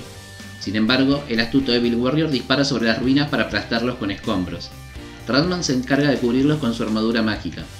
De repente el fuego cesa, y los pesos pesados de Chubat y Whiplash comienzan a avanzar. Mechanic dice que algo va mal, falta uno de ellos. Es Bisman, quien ha penetrado su perímetro y comienza a matar guardias reales. Manatarm se distrae y su cañón de plasma es destruido por un disparo de Trapjaw, quien continúa matando soldados. Su cañón es cortado por el báculo de de Tila y el cyborg queda desarmado literalmente. La misión se vuelve un desastre. Chubat mata a varios guardias reales también, mientras Whiplash detiene a Randman. Mekanek es herido por Beastman, cuyas garras atraviesan su armadura como si fuera de papel. Manatarms noquea a Trapjaw, quien ya no se puede defender, y también se enfrentará a Beastman, aunque este lo supera en fuerza y velocidad. Además, Duncan tiene un brazo herido, He-Man llega para equilibrar un poco las cosas, pero Skeletor ya ha obtenido lo que vino a buscar y se dirige sin pérdida de tiempo a Grayskull. Manatarms se lamenta por las pérdidas que han tenido, demasiadas bajas, ordena a los sobrevivientes que lleven a Mechanic al hospital, y él junto a Tila, Randman, Battlecat, He-Man y dos guardias irán a Grayskull. Skeletor y Evil Lynn invocan a dos gigantes de roca para demorarlos. Al tratar de esquivarlos, las dos Wind Riders chocan y se estrellan. Battlecat y He-Man saltan y salen ilesos. Sin embargo, Ratman sale despedido y pierde la conciencia. Las piernas de Tila quedan atrapadas y uno de los gigantes la pisará. Duncan se queda para morir junto a su hija valientemente. Por suerte, dejar morir a sus amigos no estaba en los planes de He-Man, quien los rescata. Triclops estaba armando un portal para que Skeletor pueda atravesar las defensas de Grayskull y aparecer adentro. El combate se reanuda y Duncan comienza a desarmar el portal. Triclops intenta detenerlo porque la energía se saldrá de los parámetros y sus efectos serán desconocidos. Sin embargo, ya es demasiado tarde. Manatarms es absorbido por el portal, y Skeletor lo destruye ordenando la retirada. Sus amigos se lamentan frente a los restos del portal. Inexplicablemente vuelve a activarse y devuelve a Manatarms. Pasado un tiempo, descubren que este Manatarms en realidad es una variante de otro universo, uno en el cual es malvado, y cuando es descubierto se enfrenta a He-Man dentro de Grayskull. El héroe lo derrota y lo arroja por el portal del otro universo, ya que el de este fue destruido. Cuando el impostor lo cruza, el verdadero Man es devuelto a Eternia. En la saga del resurgir de los hombres serpiente, le avisa al rey Randor que la hechicera ha tenido una premonición. Los hombres serpiente resurgirán y ellos deben evitarlo, por lo cual sugiere ir a pedir la ayuda de Skeletor. A él tampoco le gustará compartir Eternia con otro enemigo, y tal vez los ayude. Con el permiso del rey, deja preparado al ejército para defender el reino por si ellos fallan en su misión. Un pequeño grupo se infiltrará en el hemisferio oscuro para ir en busca de Skeletor. Esta vez, Duncan no planea sellarlos, sino destruirlos definitivamente. Al igual que la última vez, Skeletor cree que están invadiendo sus dominios y los ataca ferozmente. Stratos, Mekanek y Tila son derribados. Manatarms logra salvar a Stratos y evita que caiga en uno de los abundantes pozos de lava del hemisferio oscuro. Mekanek y Tila salen ilesos de su aterrizaje forzoso. Sin embargo, ahora todos están rodeados por las fuerzas de Skeletor. El combate no se hace esperar y Manatarms enfrenta a Stinkor, quien intenta sofocarlo con su hedor. Gracias a los filtros de aire de su armadura, el ataque del amo de los olores no tiene efecto. Entonces Triclops se acerca. Duncan sabe que es un enemigo que puede atacar a larga y a corta distancia, por lo cual utiliza un gancho de su masa para sujetarlo y arrojarlo dentro de la nube de hedor de Stinkor. Entonces ve a Whiplash, que está a punto de matar a Stratos, y corre para ayudarlo. Triclops aprovecha que le da la espalda para derribarlo con una de sus descargas ópticas. Los héroes iban a ser aniquilados, entonces Duncan ordena la retirada. Cobra Khan ha liberado a los hombres serpiente y al rey Hiss. Por el camino se encuentran con Sodak, quien les advierte del peligro. Cuando He-Man descubre que él ha dejado que los hombres serpientes sean liberados a propósito para poder vengar la muerte de su hermano, todos son golpeados por una onda de choque del ejecutor cósmico. Todos están demasiado heridos para seguir combatiendo. Entonces Duncan pedirá refuerzos para que los extraigan, mientras He-Man va a convencer a Sodak de que se les una. Días más adelante, el ejército de las serpientes ataca a Grayskull al mando del general Rattler, los defensores son el ejército de Eternos, al mando del general Manatarms, que no acepta los términos de rendición del enemigo. Rattler ordena muerte a todos. En el transcurso de la batalla, Manatarms derrota a Cobra Khan. En el especial de Halloween, Manatarms se encuentra probando su nueva invención, el Attack Track en el bosque Evergreen. Mientras tanto, una misteriosa niebla comienza a llenar el lugar. Se trata del poder ilusorio de Scareglow, que revela sus más profundos temores. Unos guerreros atacan a Duncan, y este comienza a envejecer rápidamente, ya no es capaz ni de llevar su propia armadura. Entonces comprendemos que el miedo de Man es envejecer y ser inútil en la batalla. En el volumen 3, el último de estos cómics, volvemos a ver a Duncan, cuando han logrado vencer a los hombres serpientes sobrevivientes de la batalla de Grayskull. Todo gracias a la ayuda de Mossman. Con las serpientes prisioneras, los héroes vuelan sus nidos. En los días posteriores, He-Man ha evitado que Evil Dean abra un portal a Despondo para liberar a Hordak, en la batalla, ella ha sido envenenada con la energía de Despondos, y ahora agoniza en el Palacio Real. Adam se siente responsable por lo que pasó, aunque ella sea una teniente de Skeletor, no desea que su fin sea así. Además, él nunca había matado a una persona antes. Duncan trata de consolarlo, le dice que no debe sentirse responsable por lo que pasó. Ella ha escogido un bando y había que detenerla. Siempre quiso que Tila y él no pasaran nunca por esto. Matar siempre es duro. Esa noche, Eterno festeja la derrota del rey Hiss, el enemigo ha sido vencido. El rey Randor invita a Duncan a realizar un brindis por la paz. Este brinda y bebe en silencio. El rey le dice que suelte lo que está pensando. Manatarms le dice que los festejos parecen apresurados, no saben a ciencia cierta si His está muerto. No han encontrado su cuerpo ni entre el general Rattler. Randor le dice que han caído a la lava, probablemente no han quedado restos de ellos. Además, debería tener un poco más de fe. Duncan dice que supone que tiene razón, pero es muy bueno para que sea verdad. Al día siguiente, Adam le sugiere llevar a Evelyn a Grayskull, tal vez la hechicera pueda curarla. Manatarms le dice que esto es una locura y se niega rotundamente. Le recuerda que ella no está herida por su culpa. Adam le dice que no puede quedarse de brazos cruzados esperando que muera. Su deber es hacer todo lo que esté a su alcance por aquellos que no pueden defenderse por sí mismos, porque eso es lo que él le ha enseñado. Duncan se sorprende. Adam ya no es un niño y no podrá convencerlo de lo contrario. No está de acuerdo con llevarla al castillo, pero harán lo que él dice. Una vez allí, la hechicera mira dentro de su mente y ve que la energía de Despondos la matará. El veneno que está en su cuerpo supera sus habilidades de curación. Ella no puede hacer nada. Solo Keldor tiene el poder de ayudarla, pero él hace mucho que ya no existe. Adam sugiere pedir la ayuda de Skeletor. Tal vez una parte de Keldor aún siga dentro de él. Manatarms vuelve a negarse, la última vez que le pidieron ayuda todo terminó en desastre. Deben pensarlo bien y buscar otra oportunidad. La manera de ayudarla surge cuando Cobra Khan y Rattler se infiltran en la ciudad con un propósito desconocido. Man at Arms le pide su disco volador a Adam e irá a distraer a los reptiles para que dejen de matar guardias reales. Se enfrenta a los dos y los entretiene el tiempo suficiente para que He-Man llegue a vencerlos. Una vez que están en prisión, les permiten escapar a propósito, mientras Man at Arms, Randor y He-Man los observan mediante las cámaras del palacio para descubrir cuál es su misión. Resulta ser rescatar a Evelyn. Su aparición final se da en las ruinas de Salesia, en donde el Sin Rostro ha pactado con el rey His la salvación de su hija a cambio del amuleto para despertar y controlar a Serpos. Allí enfrenta a Radlor por última vez, ya que la colección sería cancelada, dejando la historia inconclusa. Línea Classics. Man Arms regresaría para la colección Classics, una línea de figuras de venta por suscripción que buscaría reflotar la franquicia con una nueva continuidad, influenciada por todos los trabajos anteriores. Su bio decía lo siguiente. Man Arms, heroico amo de las armas. Nombre real, Duncan. Por dos siglos, el instructor eterniano y maestro de las armas y el combate de la familia real fue llamado Man Arms. Entrenado por el renombrado táctico Decker y veterano de gran malestar, a Duncan el rey Randor le pidió que tomara el cargo y fortifique la guardia con una fuerza de ataque de élite llamada los Amos del Universo. Además de su habilidad de combate, Duncan es también un gran inventor y ayudó a construir una versión electrónica de la Espada del Poder para que Adam use hasta que pueda unir las dos mitades de la Espada de Grayskull. Man at y su hija adoptiva Tila patrullan las fronteras de Eternia en busca de señales del mal que acecha. Minicomics de Classics en estos minicómics tiene un papel bastante triste. Vemos a un joven Duncan en algunos flashbacks, por ejemplo cuando está vigilando a los niños que escuchan la canción del Songter.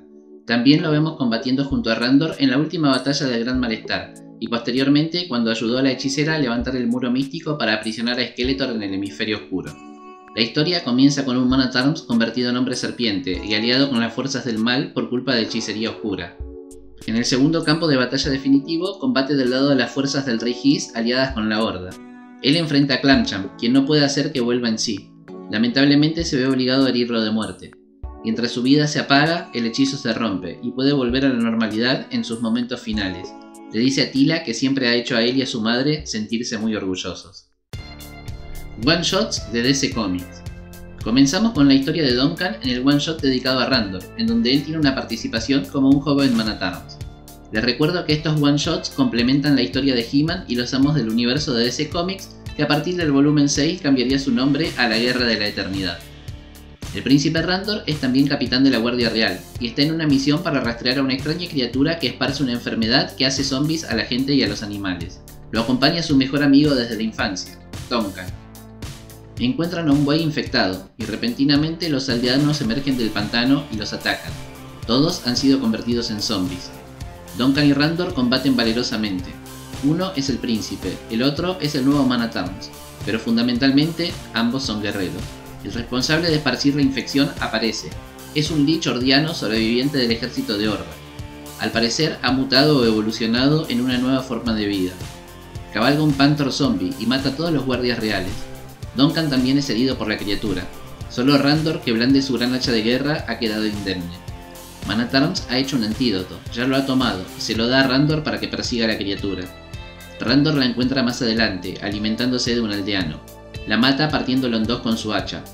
Le da un poco del antídoto al hombre y regresa por Duncan. Randor dice que nunca recuperó la gran fuerza que poseía antes, también le miente, le dice que ha salvado a toda la aldea infectada, pero en realidad solo cortó los puentes colgantes y los dejó a todos atrapados en las montañas. Consideró que su amigo Duncan era más importante y tenía más valor estratégico para el reino. Si moría, no habría otra persona capaz de fabricar más antídoto. El príncipe guardó esta acción en secreto, incluso cuando se convirtió en rey. Ahora pasamos al one shot dedicado al propio Man en donde protagoniza una aventura en la cual muestra gran parte de sus habilidades. La hechicera ha recibido la información de que uno de los ojos de Grayskull se encuentra en un templo del clan de magos Snoll en las montañas místicas. Después de la Gran Guerra, los dos ojos del castillo fueron robados por tribus rivales de magos, que al estar separados no pudieron acceder a su poder y se perdieron en la historia.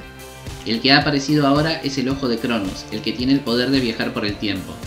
La hechicera no puede robarlo con su magia, porque el clan Noll percibiría la magia de Grayskull y atraerán a un nuevo enemigo al castillo. Necesita que Duncan lo robe, ya que es una persona que los magos no pueden detectar.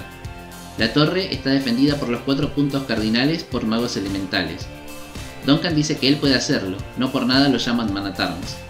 El primer mago cae derrotado ante una frecuencia sónica de su armadura, que afecta el sistema nervioso. Usando un visor termoóptico de su casco, nota que algunos magos se acercan.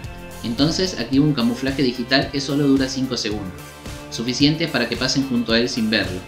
Manatarms lo sigue hasta la cámara del ojo. Los magos lo han descubierto. El que posee el poder del viento le dice que lo ha detectado porque a pesar de que era invisible, aún necesita respirar, y ha notado el cambio en la presión del aire. No detectan ningún rastro de magia en él, no saben si es muy tonto o muy valiente. El mago eléctrico lo ataca con un rayo, pero Duncan activa un dispositivo en su armadura que absorbe la descarga y energiza una pistola que usa para dispararle al mago de la tierra, quien se cubre levantando el suelo como si fuera un muro. El mago del fuego enciende su armadura, y Duncan se ve obligado a quitársela. Le dicen que sin sus juguetes ya no es nada, y comienzan a golpearlo.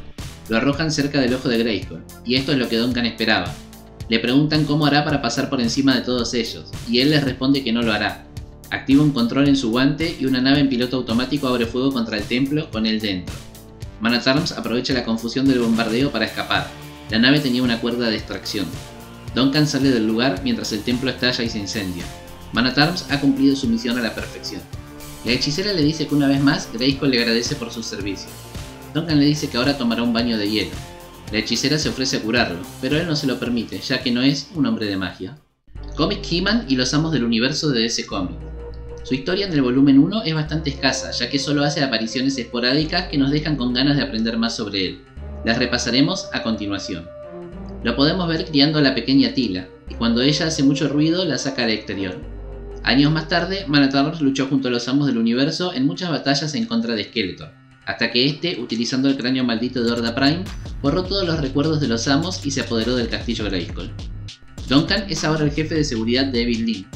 Adam y Tila naufragan y tras una batalla contra Merman arriban a una isla que Evil Lynn gobierna. Los dos jóvenes son capturados por Duncan y sus hombres y son llevados ante la presencia de la bruja. Ella los hará combatir en el caldero al día siguiente. Duncan no puede dejar de mirar a la chica que le resulta familiar. Por la noche, Duncan tiene un sueño y se despierta. Va a ver a Tila y le pregunta qué clase de bruja es, porque no hay una noche en la cual no sueñe con ella. Tila le dice que cree que él es su padre, y Duncan se aleja pensativo. Al otro día, los jóvenes combaten en el caldero, pero escapan arrojándose a las llamas que eran una ilusión. Evelyn envía a Duncan a detenerlos, ya que no hay antecedentes de escape en su isla. Duncan dice que de todas maneras iba a ir, siente la necesidad de hacerlo. Mientras tanto, Adam y Tila han abierto una puerta sellada por la hechicera. En su interior se hallaba oculta la espada del poder, la llave para acceder al poder de Grayskull. Adam combate contra Battle Cat, que tiene sus recuerdos borrados por el hechizo de Skeletor. Duncan llega y captura a Tila junto a sus hombres.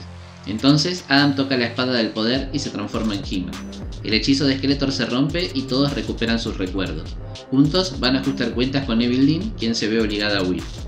El volumen 2 de esta colección son los especiales llamados Orígenes, que cuentan la historia de Skeletor, He-Man y Horda, y Duncan no aparece en ellos. Así que pasamos directamente al volumen 3. Tras la derrota de Skeletor, la hechicera ha muerto en sus manos, y el rey Randor le ha organizado un funeral. Duncan y Adam discuten porque él le ha revelado sin querer a Tila su identidad secreta. Adam le dice que su madre ha muerto y él es su padre, debería decirle la verdad acerca de ella. Duncan le cuenta que le ha dicho que su madre murió en el parque. Eso es mejor que decirle que la abandonó para cubrir sus responsabilidades de hechicera. Adam dice que tal vez tenga razón y le pregunta si alguna vez dejó de amarla. Duncan le responde que jamás. La conversación se interrumpe porque Tila ha llegado. Se ha teñido el cabello de rojo. Adam le pregunta qué se hizo en el pelo, Después le dice que ese color resalta su temperamento. Tila le dice que ya le ha dejado pasar dos comentarios y que esta es su última advertencia, la próxima vez lo golpeará. Duncan le dice que no puede pintar su cabello de rojo y simplemente esperar que nadie pregunte. Ella lo golpeará a él también. Adam agrega que le recuerda al gallo real. Tras el funeral, la ciudad es ferozmente atacada por la horda. Sin hechicera, nadie advirtió. Adam le ordena a Duncan y a Decker que protejan la ciudad mientras él busca un lugar para convertirse en Hima. El ataque resulta ser fulminante y el reino de Eternos ha caído completamente. Los amos del universo sobrevivientes se están refugiando en el castillo Grayskull y esperan la llegada del rey. Mana se encuentra entre ellos. Más adelante ayuda al rey Randor a planificar la estrategia en contra del enemigo. Despara, capitana de la Horda, les ha dado 12 horas de tregua para que se rindan o perezcan. Sin embargo, ella misma no respeta el pacto y bombardea el castillo. Todos corren dentro para refugiarse. Despara misma aparece frente a ellos. He le ordena a Duncan que proteja al rey. El ataque era una distracción, el objetivo era secuestrar a Tila para rendir a He-Man. Duncan dice que eso no tiene sentido, Un mejor objetivo táctico sería el rey o He-Man mismo. El guerrero le explica que ellos nunca han sido amigos, dándole a entender que tiene una relación sentimental con Tila. Duncan entra en pánico, se han llevado a su hija, deben hacer algo. He-Man demuestra su madurez diciéndole que primero deben evaluar los daños y que esto es una orden. Él es el Man at Arms y debe obedecer. Duncan ayuda a preparar la defensa, montando cañones en el perímetro de Greyhawk. Mechanic observa elevando su cuello. Duncan le advierte que baje la cabeza o se la volarán de un disparo. El vigía dice que nunca saldrán vivos de esta. El enemigo los rodea con un anillo de tropas de un kilómetro y medio de espesor. Man le dice que se guarde esos comentarios para sí mismo. Mecha le pregunta si sabe algo de Tila, Man le responde sombríamente que el enemigo aún no ha exhibido su cuerpo. Mechanic le dice que no lo decía por eso. Duncan le pregunta por qué le preocupa, si ella siempre lo menosprecia. Mecha le cuenta que desde que han sido niños, ella siempre estuvo al lado de él. Sabe que su poder no inspira mucha confianza, y los otros niños se burlaban de él. Tila le puso punto final a esas bromas diciendo que él era su novio, y si se reían de él, se las tendrían que ver con ella. Después de eso, solo ella tenía el derecho de burlarse. Duncan le dice que ahora ya es adulto, ¿por qué permite que se siga burlando? Mechanic le dice que es su forma de demostrar su amistad, no lo diría de otra forma, y es por eso por lo que sabe que ella va a estar bien. Duncan le dice que también estará bien porque es su hija. La conversación es interrumpida, el enemigo se mueve nuevamente y se prepara para un ataque. Los dos héroes se ponen a cubierto. La batalla del castillo Grayskull comienza. En ella, muchos guardias reales pierden la vida a manos de un nuevo tipo de trooper. Estos son cyborg, mitad seres vivientes, mitad máquina. La batalla se equilibra cuando He-Man, portando la legendaria Battle Armor, se presenta. El enemigo comienza a retroceder, y Man piensa que puede ser una estrategia de Déspara. El Rey Randor le pregunta a He-Man cómo llegó a la armadura. El guerrero le explica que fue guiado a la forja de Greyhall por Zoar. Man le dice que no puede ser, la hechicera está muerta, He-Man le contesta que en realidad nadie muere dentro del poder de Greyhawk, y se lo explicará más tarde. Al finalizar la batalla, Tila es rescatada por He-Man y se entera de boca de Adora que la hechicera es su madre. Con el castillo Greyhawk en manos de la Horda, el ejército de sobrevivientes ahora se reagrupa en Point Dread. Tila le pide a Man que le explique por qué nunca le ha dicho nada, además recientemente estuvieron en su funeral. No quiere más secretos, quiere saber toda la verdad. Él le dice que las respuestas son largas y que le contará todo cuando esta guerra termine se lo promete y le pide que tenga paciencia. Universo DC versus Amos del Universo. Ahora pasamos a esta miniserie especial que era el crossover más esperado en ese momento. Los héroes de Eternia conocerían a los héroes de la Tierra. Corría el año 2013 y He-Man y Superman no se veían desde 1982. Así que 31 años después se reencontrarían en esta miniserie que corre dentro de la continuidad de He-Man y los Amos del Universo. Man at Arms, He-Man, Tila y Stratos se encuentran enfrentando a un contingente de troopers que escoltan una unidad contenedora. Ya han visto algo así antes, eliminan a los seres con magia menor y capturan a los que poseen magia mayor. La cautiva de la unidad resulta ser Evelyn, quien se teletransporta junto a Tila y Adam a la Tierra, ya que planean sumar a Skeletor en la lucha contra la Horda. Como los tres han desaparecido de Eternia, Man Arms equipa a Roboto con los detectores de magia de los Horde Troopers y puede percibir restos de magia en el lugar donde desaparecieron. Los Troopers también están equipados con transportadores interdimensionales que les permiten invadir cualquier lugar del universo mediante la creación de un portal. Con esos datos puede usar uno para seguirlos. La teoría de Duncan al parecer funciona y un portal se abre.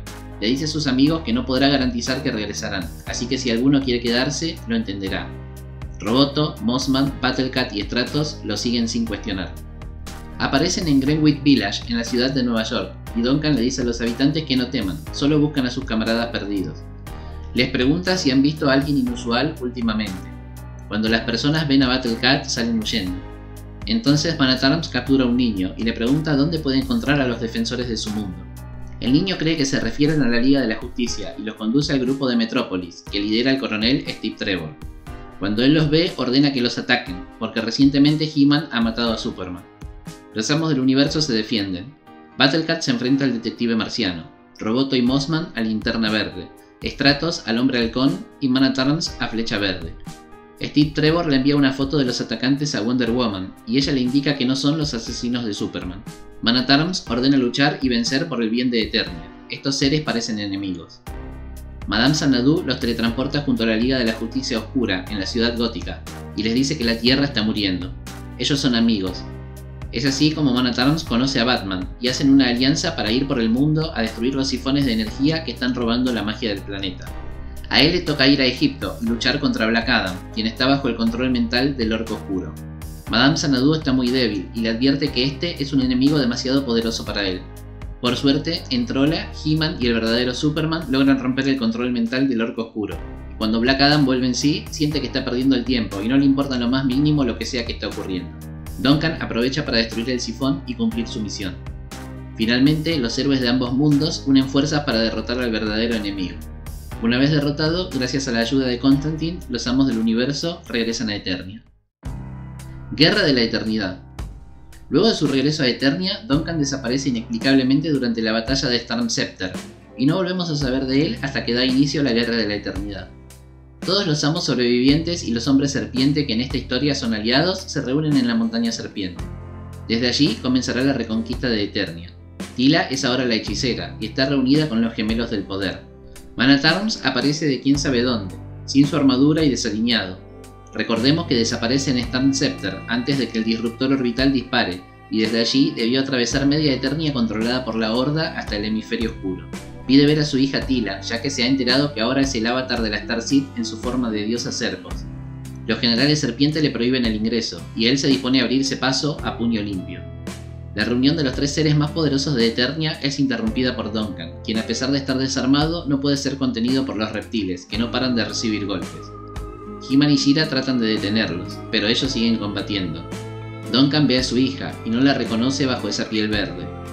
Ella le dice el mar de cristal, y entonces Duncan se tranquiliza. Cuando Tila era una niña de 9 años, fue en búsqueda del oráculo para preguntarle quién era su madre. No lo encontró y se perdió durante tres meses, Gracias al entrenamiento de su padre, sobrevivió perfectamente y cuando fue rescatada estaba en perfectas condiciones. Tila aún sigue dentro del avatar de la diosa Serpos. Manatarms se retira felicitando a los generales por su trabajo y le pide a su hija que se abrigue, el hemisferio oscuro es muy frío. La hechicera le responde, sí papi, le dice a todos que son familia, y la familia es un templo que los demonios temen. Más adelante, el rey He-Man está a punto de dar su primera batalla en contra de la Horda, el disruptor orbital será un gran problema, y tiene un plan arriesgado. Tiene el teletransportador de la Horda. Se salvó del disruptor usándolo antes, eso explica por qué desapareció. Le ha hecho modificaciones a Roboto y no ha dejado nada al azar. Le explica a He-Man que nunca le contó a Tila que su madre era la hechicera por pedido de ella misma. También le cuenta la anécdota del mar de cristal y le recuerda que ella es una sobreviviente y que lo ama con todo su corazón, ahora y siempre. También le recuerda que hace mucho que carga el poder de Grayskull. Debe ser Adam de vez en cuando, porque es el hombre más valiente que ha conocido, y no se refiere a He-Man. El rey le dice que debe cargarlo por ahora, por Eternia y por sus hombres. Duncan le pide que desate el infierno sobre la Horda, y así He-Man inicia la primera batalla de la Guerra de la Eternidad. Mientras tanto, Man at Arms va al espacio. Ha modificado a Roboto para que sea un traje espacial. Su misión es destruir el disruptor orbital antes de que elimine por completo al ejército de Adam. Se emociona por ser el primer eterniano en el espacio y contempla Eternia. Vale la pena luchar y morir por ella. Man y Roboto se acercan al disruptor y están a punto de colocar las bombas en su cañón principal cuando este se activa. Está cargando energía y está a punto de disparar. Ya no hay tiempo para ser sutil. Roboto abre fuego a discreción para destruirlo. Drones orbitales de la Horda los detectan y atacan. Duncan se ve obligado a defenderse, aunque Roboto sufre algunos daños. El teletransportador se ha roto ya no hay forma de volver. Logran ingresar al interior de la estructura y colocar la bomba que destruirá el disruptor orbital. Manatarm le pide disculpas a Roboto. No lo construyó para ser una máquina de guerra, y le hubiese gustado que tenga la oportunidad de experimentar la paz. Roboto le dice que no se preocupe, es un honor servir a su patria y dar su vida para salvar el mundo. La bomba estalla y Roboto recibe de lleno la explosión. Pierde sus extremidades y propulsores y ambos son arrastrados por la gravedad de Eternia. Manatarms le pide que reinicie sus impulsores o ambos se estrellarán sobre el planeta. Sin embargo, Roboto utiliza toda su energía para generar un campo de inercia alrededor de Duncan. Su cuerpo absorberá el impacto y él podrá sobrevivir. Duncan le dice que si hace eso morirá. Roboto le dice que ha sido programado como una copia de sus propios engramas cerebrales, está haciendo justo lo que él haría, y se despide de él diciéndole, Adiós padre, ha sido un honor. Su reentrada en la atmósfera no pasa desapercibida a la atenta visión de Triclops, quien investigará el punto de impacto, los pantanos de Eternia. Detecta una forma de vida moribunda con su tecnovisión, y el cazador se acerca sigilosamente a su presa. Sin embargo, Roboto es solo una armadura vacía y muerta, y dentro hay una bomba. El cazador ha caído en una trampa. La bomba estalla y lo manda a volar lejos, haciendo que se estrelle contra unas rocas. Man le dice que él es el amo de la casa y ahora deberá enfrentarse al amo de la guerra. Triclops desenvaina una espada y lo corta en un hombro, diciéndole que está desarmado. Man le asegura que no, todo su cuerpo es un arma, y lo patea, tomando una de sus espadas. Triclops cae en un pantano, en el cual previamente Man ha dejado unas bombas que estallan y lo enfurecen. Triclops ataca desbocado mientras le dice que pagará por esto. Man le dice que él es más fuerte y está mejor armado, pero no podrá hacer nada si no puede verlo. Entonces, con un revés de su espada, le arranca el visor a Triclops, ya que supone que es ciego sin él. Efectivamente, ya no puede ver y es derrotado de un potente puñetazo. Sin embargo, Duncan se confía, toma su casco y dice que tal vez pueda configurar un escáner con él para salir de este lugar. Pone una pequeña bomba en el interior del visor. Triclops ha entrenado su punto débil y se pone de pie nuevamente. Mientras siga haciendo ruido, puede seguir peleando, y él habla demasiado. Le devuelve el golpe y lo deja fuera de combate. Triclops se lo entrega a Hordak, quien lo coloca en el Slime Pit para quebrar su voluntad y transformarlo en uno de sus esclavos mentales. Tras la derrota del señor de la Horda, Skeletor ha tomado Grayskull nuevamente y encuentra a Duncan que aún está siendo bañado por el limo mágico. Más adelante es hora de acabar con Adam de una vez por todas. Skeletor no perderá el tiempo haciendo batallar a los ejércitos. Envía a un solo hombre que es capaz de hacer el trabajo, el espectro de la guerra. Este sujeto misterioso se acerca en un roton al ejército de Adam y comienza a dispararle a sus hombres serpiente. Los adelanta y encuentra a Adam en un bosque. Lo derriba y se dispone a acabar con él. Antes de hacerlo se quita su casco y revela ser Duncan, quien ahora es totalmente fiel a Skeletor, obviamente por efecto del Slime Pit. Le comienza a dar una brutal golpiza a Adam e intenta defenderse débilmente. El fango le ha revelado su verdadera naturaleza, un asesino, un soldado, un inventor de máquinas de guerra que traían la paz a través de la muerte. Ahora no debe esconder más a su verdadero yo. Ahora no debe esconder más a su verdadero yo. Entonces le arroja una mini bomba al pecho de Adam. La bomba explota y le abre un agujero en el pecho. El espectro de la guerra le dice que es patético, no recuerda nada de lo que le enseñó. Sin el poder de Grayskull no es más que un príncipe cobarde, un mestizo miserable y fracasado. Adam murmura que son las palabras de Skeletor las que salen por su boca. Duncan le dará la estocada final con una daga envenenada que lo matará al instante. Entonces Adam revela la verdad. Es el rey His, quien ocupó su cuerpo y lo muerde inyectándole veneno a él. Duncan queda inconsciente, hasta que la explosión en el castillo Grayskull lo despierta. La bomba que había puesto en el visor de Triclops estalló, el veneno de His ha neutralizado el control del Slime Pit, y Duncan vuelve en sí. Encuentra el cuerpo de Adam retorciéndose. His no puede matarlo. Por alguna razón, no muere. Entonces, el espíritu de Adam usa el fragmento de la espada de la eternidad para arrancar al rey serpiente de su interior. Finalmente, llega al campo de batalla entre las almas y encuentra a Tila muerta. Le dice que los viejos han hecho un desastre del mundo y que si existe un futuro debe ser de los más jóvenes. El espíritu de la hechicera también aparece. Duncan agrega que es un hombre de ciencia, pero que a lo largo de su vida ha aprendido un truco o dos y ha estado preparado para entregar su vida desde el día en que nació. Entonces realiza el hechizo de intercambio de vida, y el gran guerrero muere, pero Tila vive. He-Man Thundercats. Después de la gran y apoteósica historia que acabamos de ver, Duncan vuelve a aparecer en el crossover He-Man Thundercats, que lamentablemente es otra continuidad. Esto se hizo así para poder utilizar a personajes como Skeletor que ya habían muerto en la saga anterior. Lamentablemente, aunque la idea es buena, no es una gran historia. Vemos a Duncan durante el funeral del príncipe Adam, quien fue asesinado por Mumra, sin que se exploren sus pensamientos o sentimientos. Más adelante, Mumra y Skeletor se fusionan y le dan un cuerpo físico gigante a los antiguos espíritus del mal que atacan el castillo Grayskull. Solo la unión del ejército de Eternia y los Thundercats podrán detenerlos.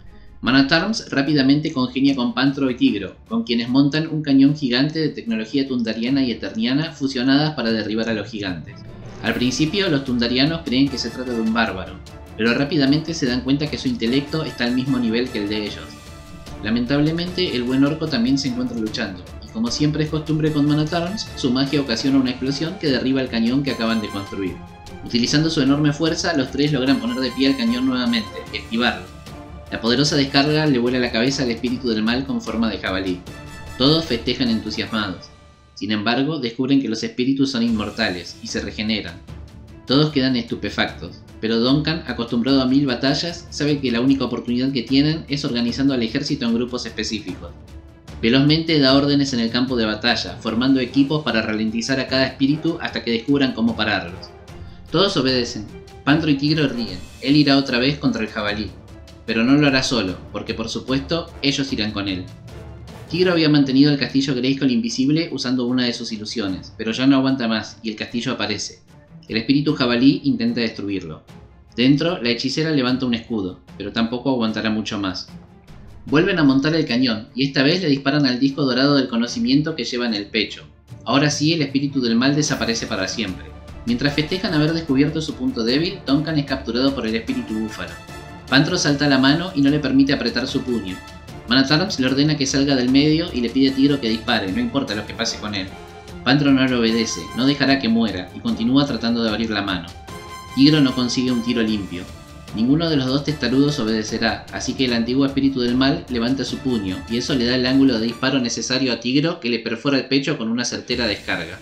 El segundo espíritu del mal ha caído, alegrando a todos.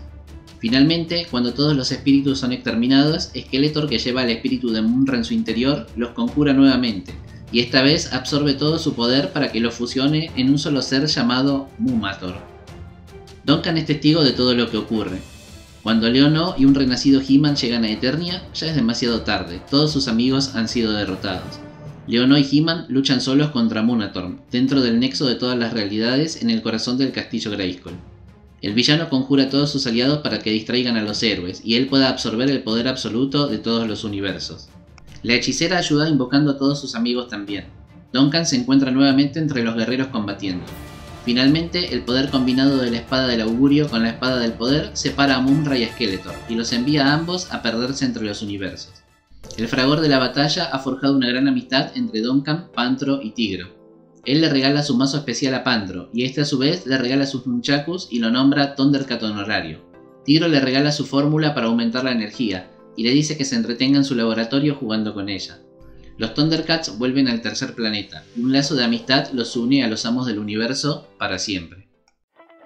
Injustice vs. Motu. El siguiente crossover es una continuación de la historia con los Thundercats, aunque estos ya no aparecen.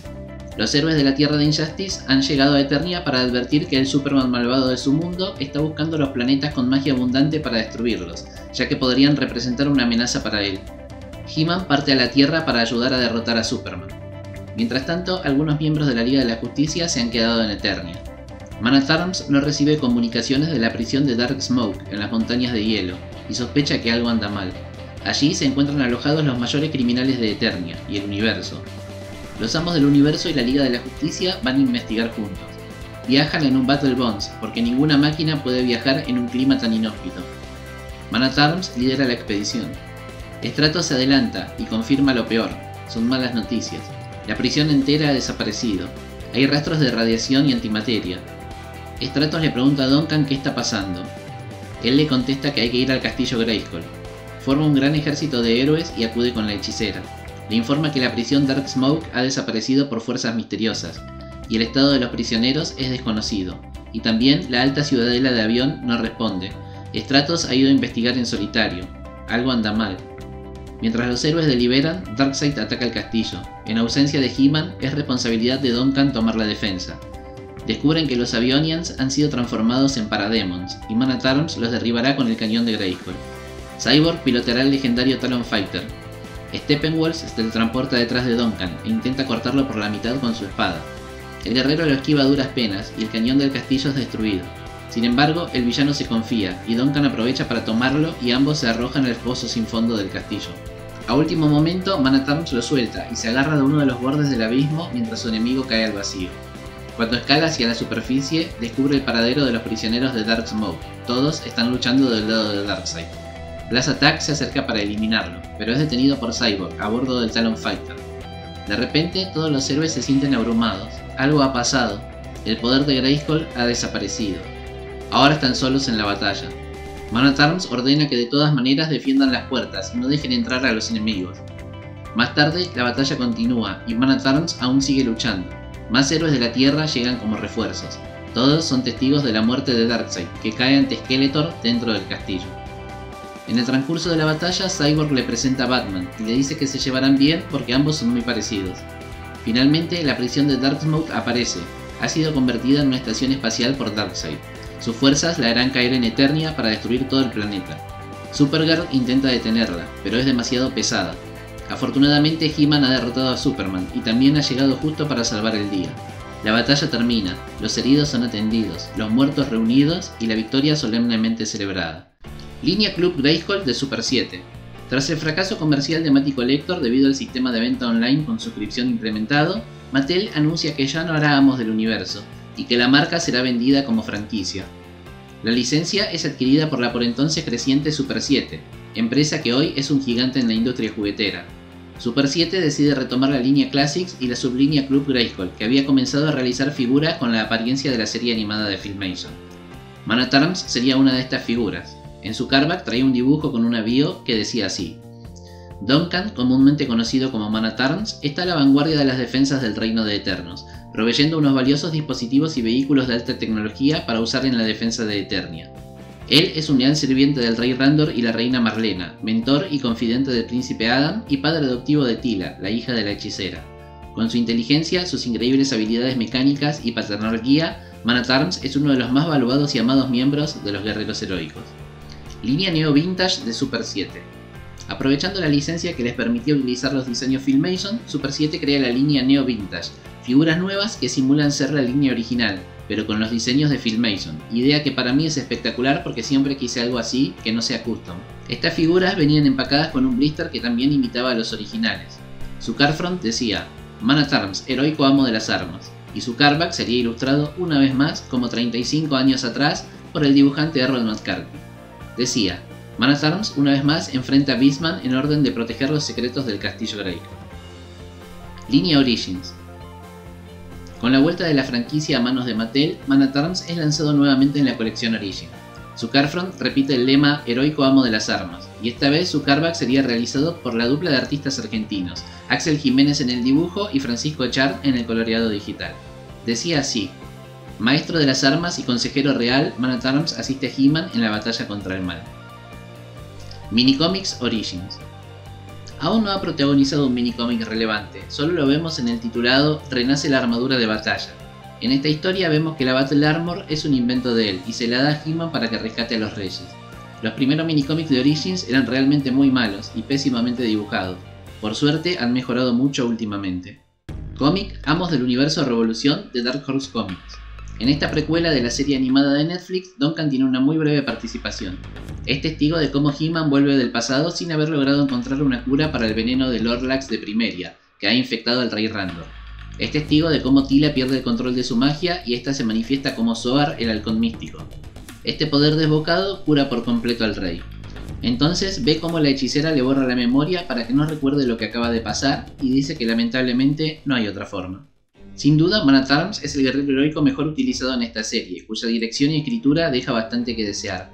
Duncan es el padre de Tila y esposo de Tila Na, quien es llamada por Grayskull para convertirse en su hechicera.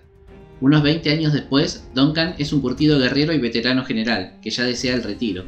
Su idea es traspasarle su cargo a su hija, Tila, quien según él ya está capacitada para ejercerlo. Claramente no es así, y lo comprobaremos durante toda la serie. La ceremonia en la cual hacen a Tila general es interrumpida por un gran ataque masivo del ejército de Skeletor. Duncan va a la batalla comandando la fuerza aérea, mientras que Tila dirige a la infantería. Aquí empezamos a ver su excelente desempeño como general y guerrero. Primero derriba a Triclops de su War Sled, luego salta al suelo y noquea a Trapjaw, mientras destruye varios Rotons haciéndolos chocar. Cuando llega a Grayskull es enfrentado por Beastman a bordo de un Vallasaurus. Esto es otro error en la dirección de la serie, ya que el Vallasaurus es un vehículo heroico, al menos que Beastman lo haya robado antes. Como sea, esto no se explica en la serie. He-Man llega para ayudarlo y lo envía a él a defender Grayskull, mientras que He-Man pelea con el ejército genérico random de Skeletor. Cuando ingresa al castillo, derrota fácilmente a Faker, partiéndolo por la mitad con un láser. Luego salva a Tilana noqueando a un Night Stalker de un puñetazo en la cara, demostrando que es el pup amo de la serie. Lamentablemente, He-Man muere cuando Skeletor inexplicablemente destruye el orbe del poder que toda su vida quiso robar. ¿Por qué lo destruye? Otro de los inexplicables flashes en la dirección del guion. Man at Arms es el encargado de decirle al rey que He-Man ha muerto, y por ende su hijo Adam también. El rey furioso porque le ocultaron el secreto y porque además su único hijo ha muerto, expulsa a Man at Arms del reino, despojado de todos sus títulos, y lo hará ejecutar si algún día vuelve. Inexplicablemente, la misión de devolver la magia perdida del planeta recae en Tila, en lugar de los más de 20 guerreros heroicos que supuestamente hay en Eternia. Nos muestran un flashback de cómo Man salva a He-Man y a Tila de Merman, usando un traje submarino. Mientras tanto, ya ha pasado un tiempo no muy bien definido en la serie, y Duncan se encuentra en una fuente cuya agua aún conserva algo de magia. Orco está a cargo de él, y su magia se está agotando, entonces está muriendo de debilidad. Esta agua lo ayuda a sobrevivir un poco. El lugar es atacado por el culto tecnócrata de Triclops, quienes están atacando todos los lugares que aún conservan algo de magia. Duncan lo defiende valientemente. El grupo de Tila llega y lo ayudan a alejar a Triclops. Han venido por su ayuda. Necesitan un forjador para volver a unir la espada del poder. Sin embargo, Duncan enviará a Roboto, porque su cerebro computarizado es una copia del suyo, y todo lo que él sabe, lo sabe Roboto también. Manatarms irá a Grayskull, Triclops lo ha estado atacando y la hechicera ya está muy débil para seguir defendiéndolo. El nuevo grupo de héroes viaja por el mar de cristal rumbo a Subternia y son atacados y tomados prisioneros por Merman. Duncan supuso que eso iba a pasar, así que se desvió de su curso original y los salvó a todos. Tila aprovecha para reconciliarse con él, ya que estaba disgustada porque no le habían dicho que He-Man y Adam son la misma persona. Más adelante, Tila logró reforjar la espada del poder y traer a Adam de Preternia, el paraíso de los héroes. Todos llegan a Grayskull, que como está desprovisto de magia, muestra su verdadera forma, la del Salón de la Sabiduría, y vuelven a reencontrarse con Manatarms.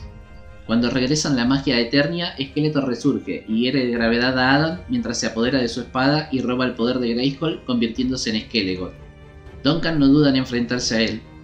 La hechicera recupera parcialmente sus poderes e intenta teletransportar a todos al Palacio Real. La teleportación de Manatarms es interrumpida por Evil Lynn y él no puede escapar. Skelegot furioso atraviesa a la hechicera con la espada del poder, y esta muere en los brazos de Duncan.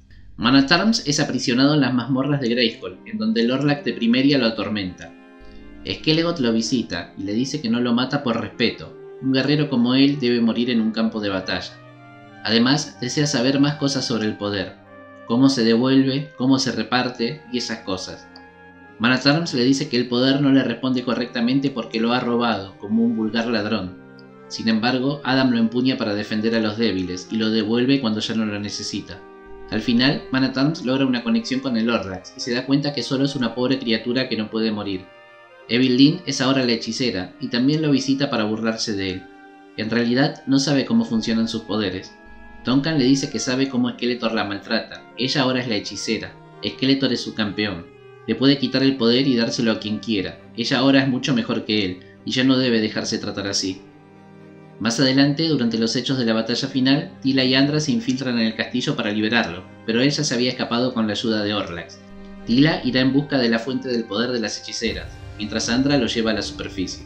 Ambos se reencuentran con Orco, quien ha sido resucitado accidentalmente por la magia de Godlin. En el exterior encuentran todo hecho un caos. Manatarms le cede su cañón a Andra y luchará con su masa. En el transcurso de la batalla se encuentra con el rey Randor, quien lo perdona por todo, y vuelven a luchar juntos. Cuando Godlin se rinde, todo vuelve a la normalidad para los héroes. He-Man y Orko han resucitado. Hay una nueva hechicera y ahora tienen a Andra como una nueva aliada. Duncan, con el permiso de los reyes, recompensa a Andra convirtiéndola en la nueva Mana Tarms por sus actos de valor en la batalla, y por fin Duncan obtiene el retiro, al menos por ahora.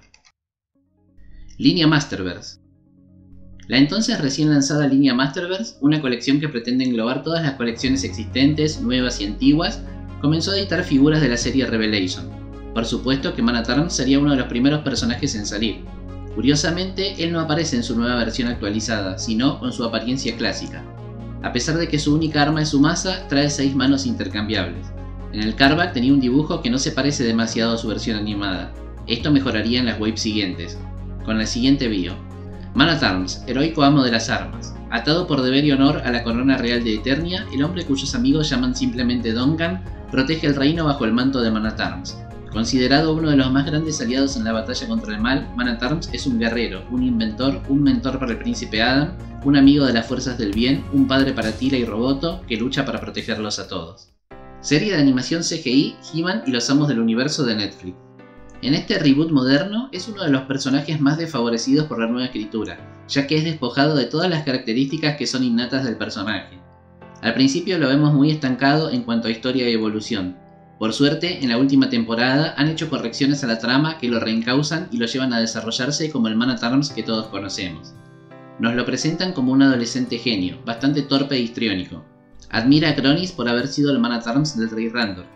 Si bien en la propia historia nos cuentan que tanto Cronis como Evelyn han estado exiliados los últimos 10 años por haber protagonizado un fallido golpe de estado, Duncan parece desconocer estos hechos. Al parecer no tiene familia y no hay mayores datos sobre su origen. Yo supongo que es originario de Subternia, por eso desconoce los hechos de los últimos años y tal vez sea allí donde conoce a Cronis y no sabe que está exiliado. Reitero que es una suposición mía que explicaría esta incongruencia del principio. Cuando Evelyn persigue a Tila hasta la aldea de la tribu del Tigre Verde para quitarle la espada del poder que ella misma le mandó a robar, esta sugiere quemar toda la aldea. Cronis dice que es una buena idea y envía a un horrorizado Duncan a cumplir la orden. Recién entonces el muchacho se da cuenta de que son malvados. Decide desertar del tutelaje de Cronis y ayudar a la gente de la aldea, salvando a Cringer y conociendo la temperamental Kras. Decide robar la Wind Rider, la nave de Cronis, a la cual le tiene mucho cariño porque ha trabajado mucho tiempo en ella. Se une al grupo formado por Tila, Adam, Cringer y Kras. Al principio mantiene una relación cercana con Cringer, quien ocupa el rol de figura paterna para la mayoría de los chicos. Cuando se entera que ha sido mutilado por Rakaz y que ya no es capaz de cazar, le fabrica unas garras artificiales. Más adelante es secuestrado por Keldor para obligar al príncipe Adam a encender el pozo del poder del legendario castillo Grayskull. Cuando el joven lo hace, comparte el poder de Grayskull con sus nuevos amigos, y ellos se transforman en los nuevos amos del universo. Duncan recibe la armadura mágica tecnológica de Mana Tarms. Con sus nuevas habilidades enfrenta a su ex mentor, Cronis, y tras un breve combate le rompe la mandíbula. Más tarde lucha junto a los otros amos contra las bestias de fango de Skeletor. Para salvarse de una de ellas, toma una de las unidades RK del Palacio Real y la arroja a la boca del monstruo. Cuando finaliza la batalla y ellos se encuentran refugiados en el castillo Grayskull, recupera la unidad de RK dañada y se dispone a repararla. Su unidad de procesamiento central está arruinada y encuentra un reemplazo antiguo dentro del castillo. Esta unidad contenía las memorias de Orco el Grande, un mago legendario de Eternia. Desde entonces, la unidad de RK creerá que es el mismísimo Orco y se meterán muchos problemas al tratar de hacer magia. Junto con Tila, ayudan al pequeño robot a aceptar quién es verdaderamente. Entonces, al darse cuenta de que en realidad es una copia, decide rebautizarse como Orc-O. Cuando atacan la montaña serpiente para frenar a Skeletor, Manatarn se enfrenta a Cronis, quien ahora es el amo oscuro Trapjaw. Sorprendidos por las nuevas transformaciones de sus enemigos, los amos del universo son vencidos y capturados. Skeletor utiliza el Slime Pit para tratar de convertirlos en amos oscuros también. Sin embargo, los héroes logran escapar. Todo el reino es conquistado por Skeletor, pero ellos logran salvar al rey Randor y poner a salvo el castillo Grayskull. Así finaliza la primera temporada. En la temporada 2 es el amo del universo peor utilizado, ya que al quedar desprovisto de sus atributos principales lo dejan prácticamente de lado y con escasas apariciones. Al principio de la historia conoce a Stratos, el insoportable rey de avión. Durante toda la temporada su función es permanecer dentro de Grayskull, en donde utiliza una de las reliquias de His para tratar de emular la presencia de Eldres y hacer que el castillo pueda teletransportarse nuevamente. Lo veremos en casi todos los capítulos trasteando con el aparato y el castillo. El único descubrimiento que hace es que la energía del caos es opuesta al poder de Grayskull, pero ambas forman parte de la esencia del poder. Algo así como el positivo y el negativo que son necesarias para la conducción de la electricidad. En un momento, Skeletor se infiltra en el castillo y queda atrapado dentro de él, siendo este uno de los peores y más infantiles capítulos, en donde se la pasan peleando con bromas y sin ninguna sensación de peligro real, algo así como un episodio de Tom y Jerry, por suerte, cuando la temporada está insoportable debido al exceso de comedia y el humor absurdo, ocurre la pelea final entre Skeletor y los amos del universo junto a los guerreros heroicos, el grupo de héroes que comanda Stratos. Manatarms combate en esta batalla. Manatarms combate en esta batalla al fin y es testigo de la muerte de Skeletor. Por suerte para todos, la temporada 3 ha aprendido de los errores y bajo rating de la temporada anterior y ha vuelto a ser una serie de aventura épica. Ahora sí se profundizan los personajes, y Tila y Manatarms son altamente favorecidos por los cambios narrativos agregados. Manatarms es recibido en Eternos como uno de los más grandes héroes de Eternia. El rey lo recompensa haciéndolo un noble y miembro de la Guardia Real. Cuando Eternos recibe una antigua señal de auxilio proveniente del reino de Levaite en el norte del mundo, Duncan es enviado a investigar junto a Tila.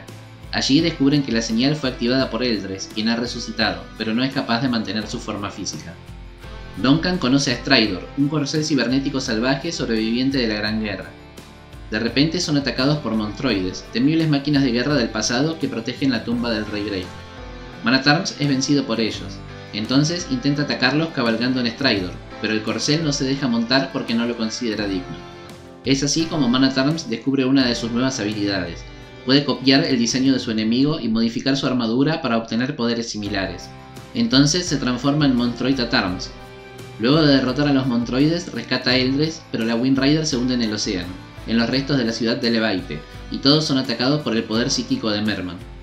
Tras derrotar al acuoso villano, He-Man se transforma en Havokman, y la Wind Rider es destruida por Trapjaw y Evil Lyn. Entonces, Man y Sorceress descubren cómo fusionar sus poderes para crear al Talon Fighter, su nueva nave.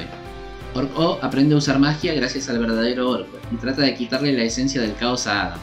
Como no podía ser de otra manera, su magia falla y los amigos intercambian su mente con unos Navits. En el segundo hechizo, Duncan queda en el cuerpo de Tila, y en el tercero se transforman en versiones de otra dimensión. Finalmente, Orco hace el hechizo correcto y todos vuelven a la normalidad. Un recuperado Adam derrota y destruye al droide Triclops, Duncan, con su característica compasión por las máquinas, lo repara, aunque sea su enemigo. En la batalla final contra Cosmic Skeletor, este arrasa Eternia con una ola de caos que transformará a todos los seres vivientes en esqueletrones. Monas Arms le hará frente a la ola del caos. La unión del poder de amigos y enemigos logran hacer que Duncan pueda construir el muro místico y proteger Eternos. Es uno de los amos del universo que combate más valientemente a Cosmic Skeletor. Combina su poder y el de sus amigos para finalmente derrotarlo. Hasta aquí llegó Man por ahora. Sin duda ha sido su mejor temporada. Espero que continúe desarrollándose de la misma manera en las siguientes. Popularidad del personaje alta. Man es uno de los personajes más populares de la franquicia. Según el propio Mattel y sus estadísticas, es el cuarto personaje más vendido de sus líneas, siendo Skeletor el primero, He-Man el segundo y Tila el tercero. Ha estado presente en todas las colecciones habidas y por haber, y ha aparecido en todas las historias y medios narrativos de la serie.